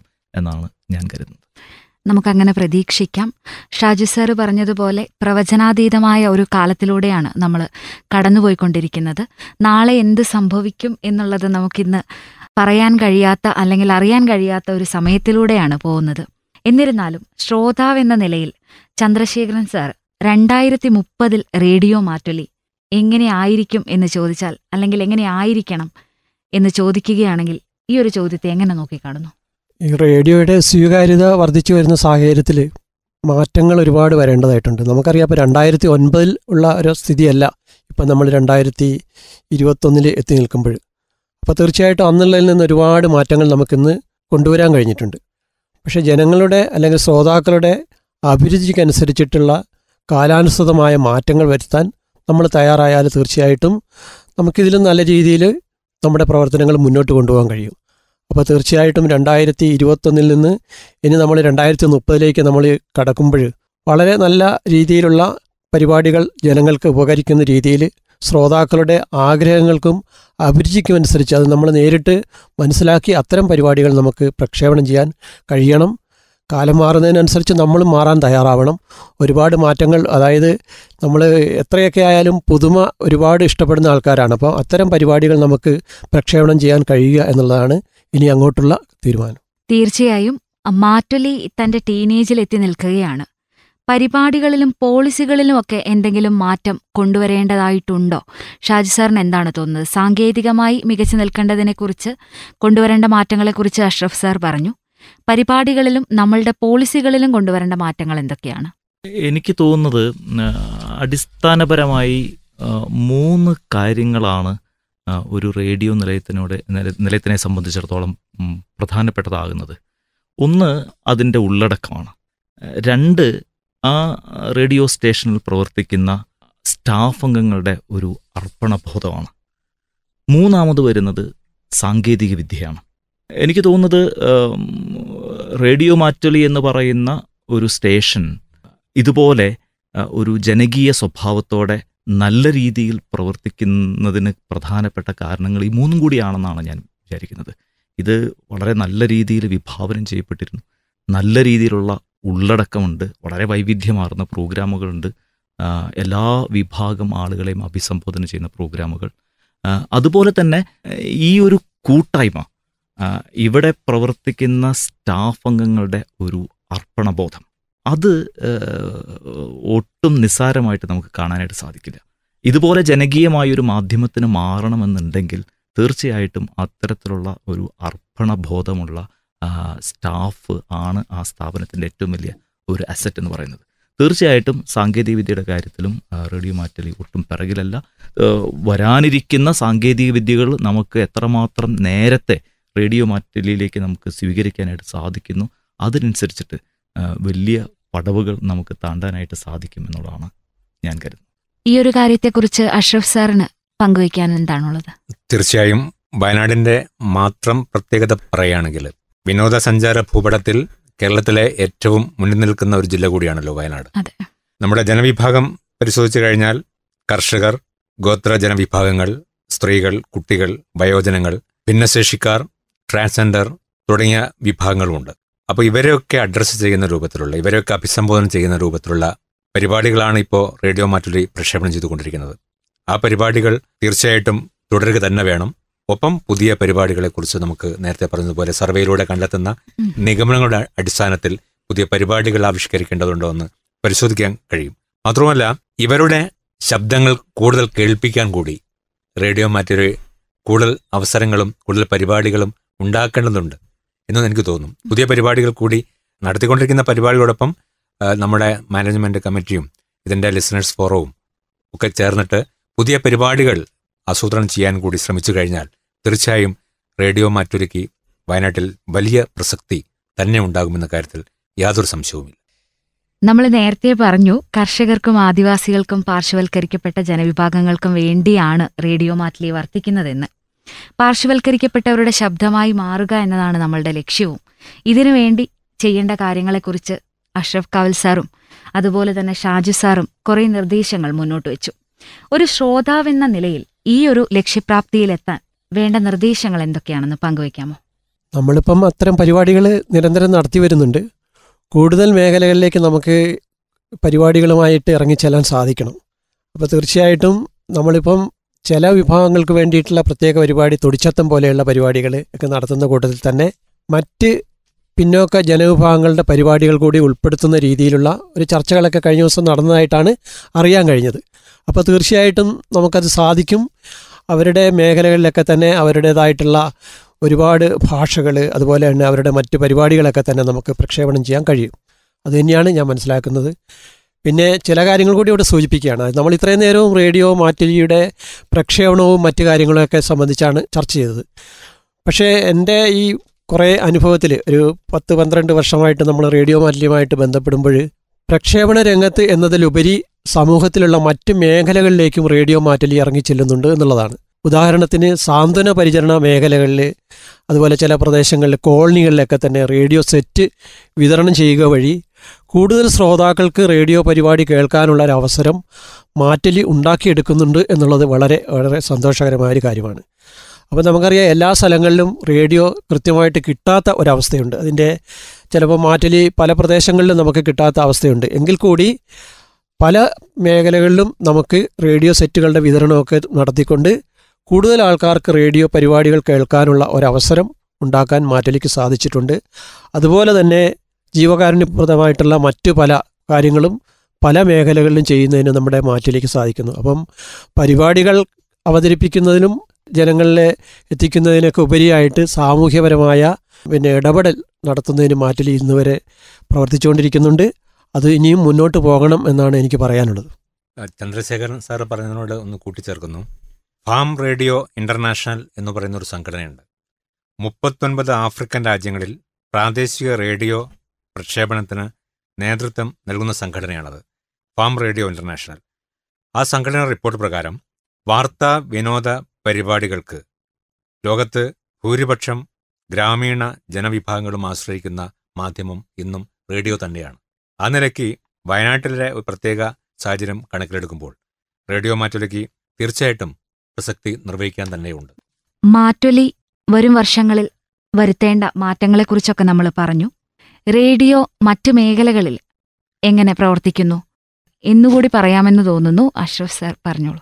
തീർച്ചയായിട്ടും. റേഡിയോ എന്ന് പറയുന്നത് ഒരു പ്രക്ഷേപണ ഉപകരണമായി മാത്രം നമുക്ക് കണ്ട കാര്യമില്ല. മാധ്യമം മാത്രമായി കണ്ടതില്ല ഇത് വലിയൊരു തൊഴിൽ മേഖല കൂടിയാണ്. കാരണം ജേർണലിസം അധ്യാപകനായ ഷാജി സാറിന് അക്കാര്യത്തിൽ കൂടുതൽ പറയാൻ കഴിയും എന്ന് തോന്നുന്നു. വലിയൊരു തൊഴിൽ മേഖലയാണ്. ജേർണലിസം കഴിഞ്ഞ കുട്ടികൾക്ക് എത്തിച്ചേരാൻ കഴിയുന്ന വലിയൊരു മാധ്യമ മേഖലയാണ് ഇന്ന് റേഡിയോ. എഫ് എം ആയാലും ആകാശവാണി ആയാലും കമ്മ്യൂണിറ്റി റേഡിയോ ആയാലും. മാത്രമല്ല പരസ്യരംഗം ഏറ്റവും കൂടുതൽ ആകർഷകമായ ഒരു പരസ്യ മേഖലയാണെന്ന് റേഡിയോ സ്റ്റേഷനുകൾ. നീൽസൺ ഇന്ത്യ സർവേ പറയുന്നു ഇരുപത്തിയാറിനും നാൽപ്പത്തഞ്ചിനും ഇടയിൽ പ്രായമുള്ളവരിൽ ഉൽപ്പന്നങ്ങളും സേവനങ്ങളും സ്ഥാപനങ്ങളും സംബന്ധിച്ച പരസ്യങ്ങൾ ഏറ്റവും ഫലപ്രദമായി എത്തിക്കുന്നത് ടെലിവിഷൻ മാധ്യമമല്ല റേഡിയോ ആണ്. അതുകൊണ്ട് റേഡിയോ വഴി നൽകുന്ന പരസ്യങ്ങൾക്ക് റീച്ച് കൂടുതലാണ്. അത് യുവാക്കളിലും പ്രായമായവരിലും നേരത്തെ പറഞ്ഞതുപോലെ വായിക്കാനോ മറ്റ് ബുദ്ധിമുട്ടുകളോ കാണാനോ ബുദ്ധിമുട്ടുകളുള്ള ആളുകൾക്ക് റേഡിയോ വഴിയാണ് പരസ്യത്തിന്റെ ആവശ്യകത ബോധ്യമാകുന്നത് അതുകൊണ്ട് വലിയൊരു പരസ്യ മേഖലയാണ് റേഡിയോ സ്റ്റേഷനുകൾ കമ്മ്യൂണിറ്റി റേഡിയോ ആയാലും എഫ് എം റേഡിയോ ആയാലും ആകാശവാണി ആയാലും വലിയൊരു തൊഴിൽ മേഖല കൂടിയാണ്. ജേർണലിസം അധ്യാപകനായ ഷാജി സാറിന് അക്കാര്യത്തിൽ കൂടുതൽ കൂട്ടിച്ചേർക്കാനുണ്ടാവുന്ന എനിക്ക് തോന്നുന്നത് അത്തരത്തിൽ നാം റേഡിയോ മാറ്റൊലി പോലെയുള്ള കമ്മ്യൂണിറ്റി റേഡിയോകൾക്ക് ഇടപെടാൻ പറ്റുന്ന മറ്റൊരു മേഖല വിദ്യാഭ്യാസ മേഖലയാണ്. പ്രത്യേകിച്ച് ഓപ്പൺ യൂണിവേഴ്സിറ്റികൾക്ക് നമ്മളിപ്പോൾ കേരളത്തിൽ ശ്രീനാരായണ ഗുരുവിന്റെ പേരിലുള്ള ഒരു ഒരു ഓപ്പൺ സർവകലാശാല നമ്മൾ സ്ഥാപിച്ചിട്ടുണ്ട്. അടുത്ത വർഷത്തോടെ അതിന്റെ പരിപാടികൾ ആരംഭിക്കും. വയനാട് പോലെയുള്ള വിദ്യാഭ്യാസപരമായി പിന്നോക്കം നിൽക്കുന്ന ഒരു ജില്ലയെ സംബന്ധിച്ചിടത്തോളം എങ്ങനെയാണ് പഠിതാക്കളുടെ അടുത്തേക്ക് പാഠങ്ങൾ എത്തിക്കാനായിട്ട് സാധിക്കുക? കാരണം മറ്റു മാധ്യമങ്ങൾക്ക് കടന്ന് കയറാൻ പറ്റാത്തിടത്തൊക്കെ റേഡിയോയ്ക്ക് കടന്ന് കയറാനായിട്ട് സാധിക്കും. അപ്പോൾ റേഡിയോ എന്ന് പറയുന്ന ഒരു മാധ്യമത്തിലൂടെ വളരെ സാധാരണക്കാരായ ആളുകളുടെ അടുത്തേക്ക് പാഠഭാഗങ്ങൾ വളരെ നല്ല രീതിയിൽ എത്തിക്കുന്നതിനും കൂടുതൽ ആളുകളെ വിദ്യാഭ്യാസ വിദ്യ അഭ്യസിപ്പിക്കുന്നതിനുള്ള ഒരു സാധ്യത കാണുന്നുണ്ട്. ഇനി രണ്ടാമത് പറഞ്ഞ പരസ്യരംഗത്തെ പറ്റിയിട്ടൊക്കെ പറഞ്ഞല്ലോ. അതായത് റേഡിയോ പറ്റിയിട്ട് ഞാൻ നേരത്തെ ആ കാര്യം സൂചിപ്പിച്ചിരുന്നതാണ്. ഈ മൻ കി ബാത്ത് എന്ന് പറയുന്ന ഒരു പരിപാടിയാണ്. റേഡിയോയ്ക്ക് ഇത്രമാത്രം ശ്രോതാക്കളുണ്ട് എന്ന് ഒരുപക്ഷെ ഓൾ ഇന്ത്യ റേഡിയോ അടക്കം ബോധ്യപ്പെടുത്തിയത്. അതിനുശേഷം ഓൾ ഇന്ത്യ റേഡിയോ ആയിട്ട് പ്രവർത്തിക്കുന്ന വ്യക്തികൾ പറയുന്ന ഒരു കാര്യം എന്ന് പറയുന്നത് അവരുടെ പരസ്യ വരുമാനം വർദ്ധിച്ചിട്ടുണ്ട്. അതായത് ഈ മാധ്യമത്തിന് എത്തിച്ചേരുന്ന ഈ മാധ്യമത്തിലൂടെ എത്തിച്ചേരുന്ന ആളുകളുടെ എണ്ണം ധാരാളമുണ്ട് എന്ന ഒരു തിരിച്ചറിവിന്റെ ഭാഗമായിട്ട് പലരും ഈ മാധ്യമത്തിൽ പരസ്യം ചെയ്യാനായിട്ട് മുന്നോട്ട് വരുന്നുണ്ട്. അത് ഒരു പരസ്യ വരുമാന വർധനവിന് കാരണമായിട്ടുണ്ട്.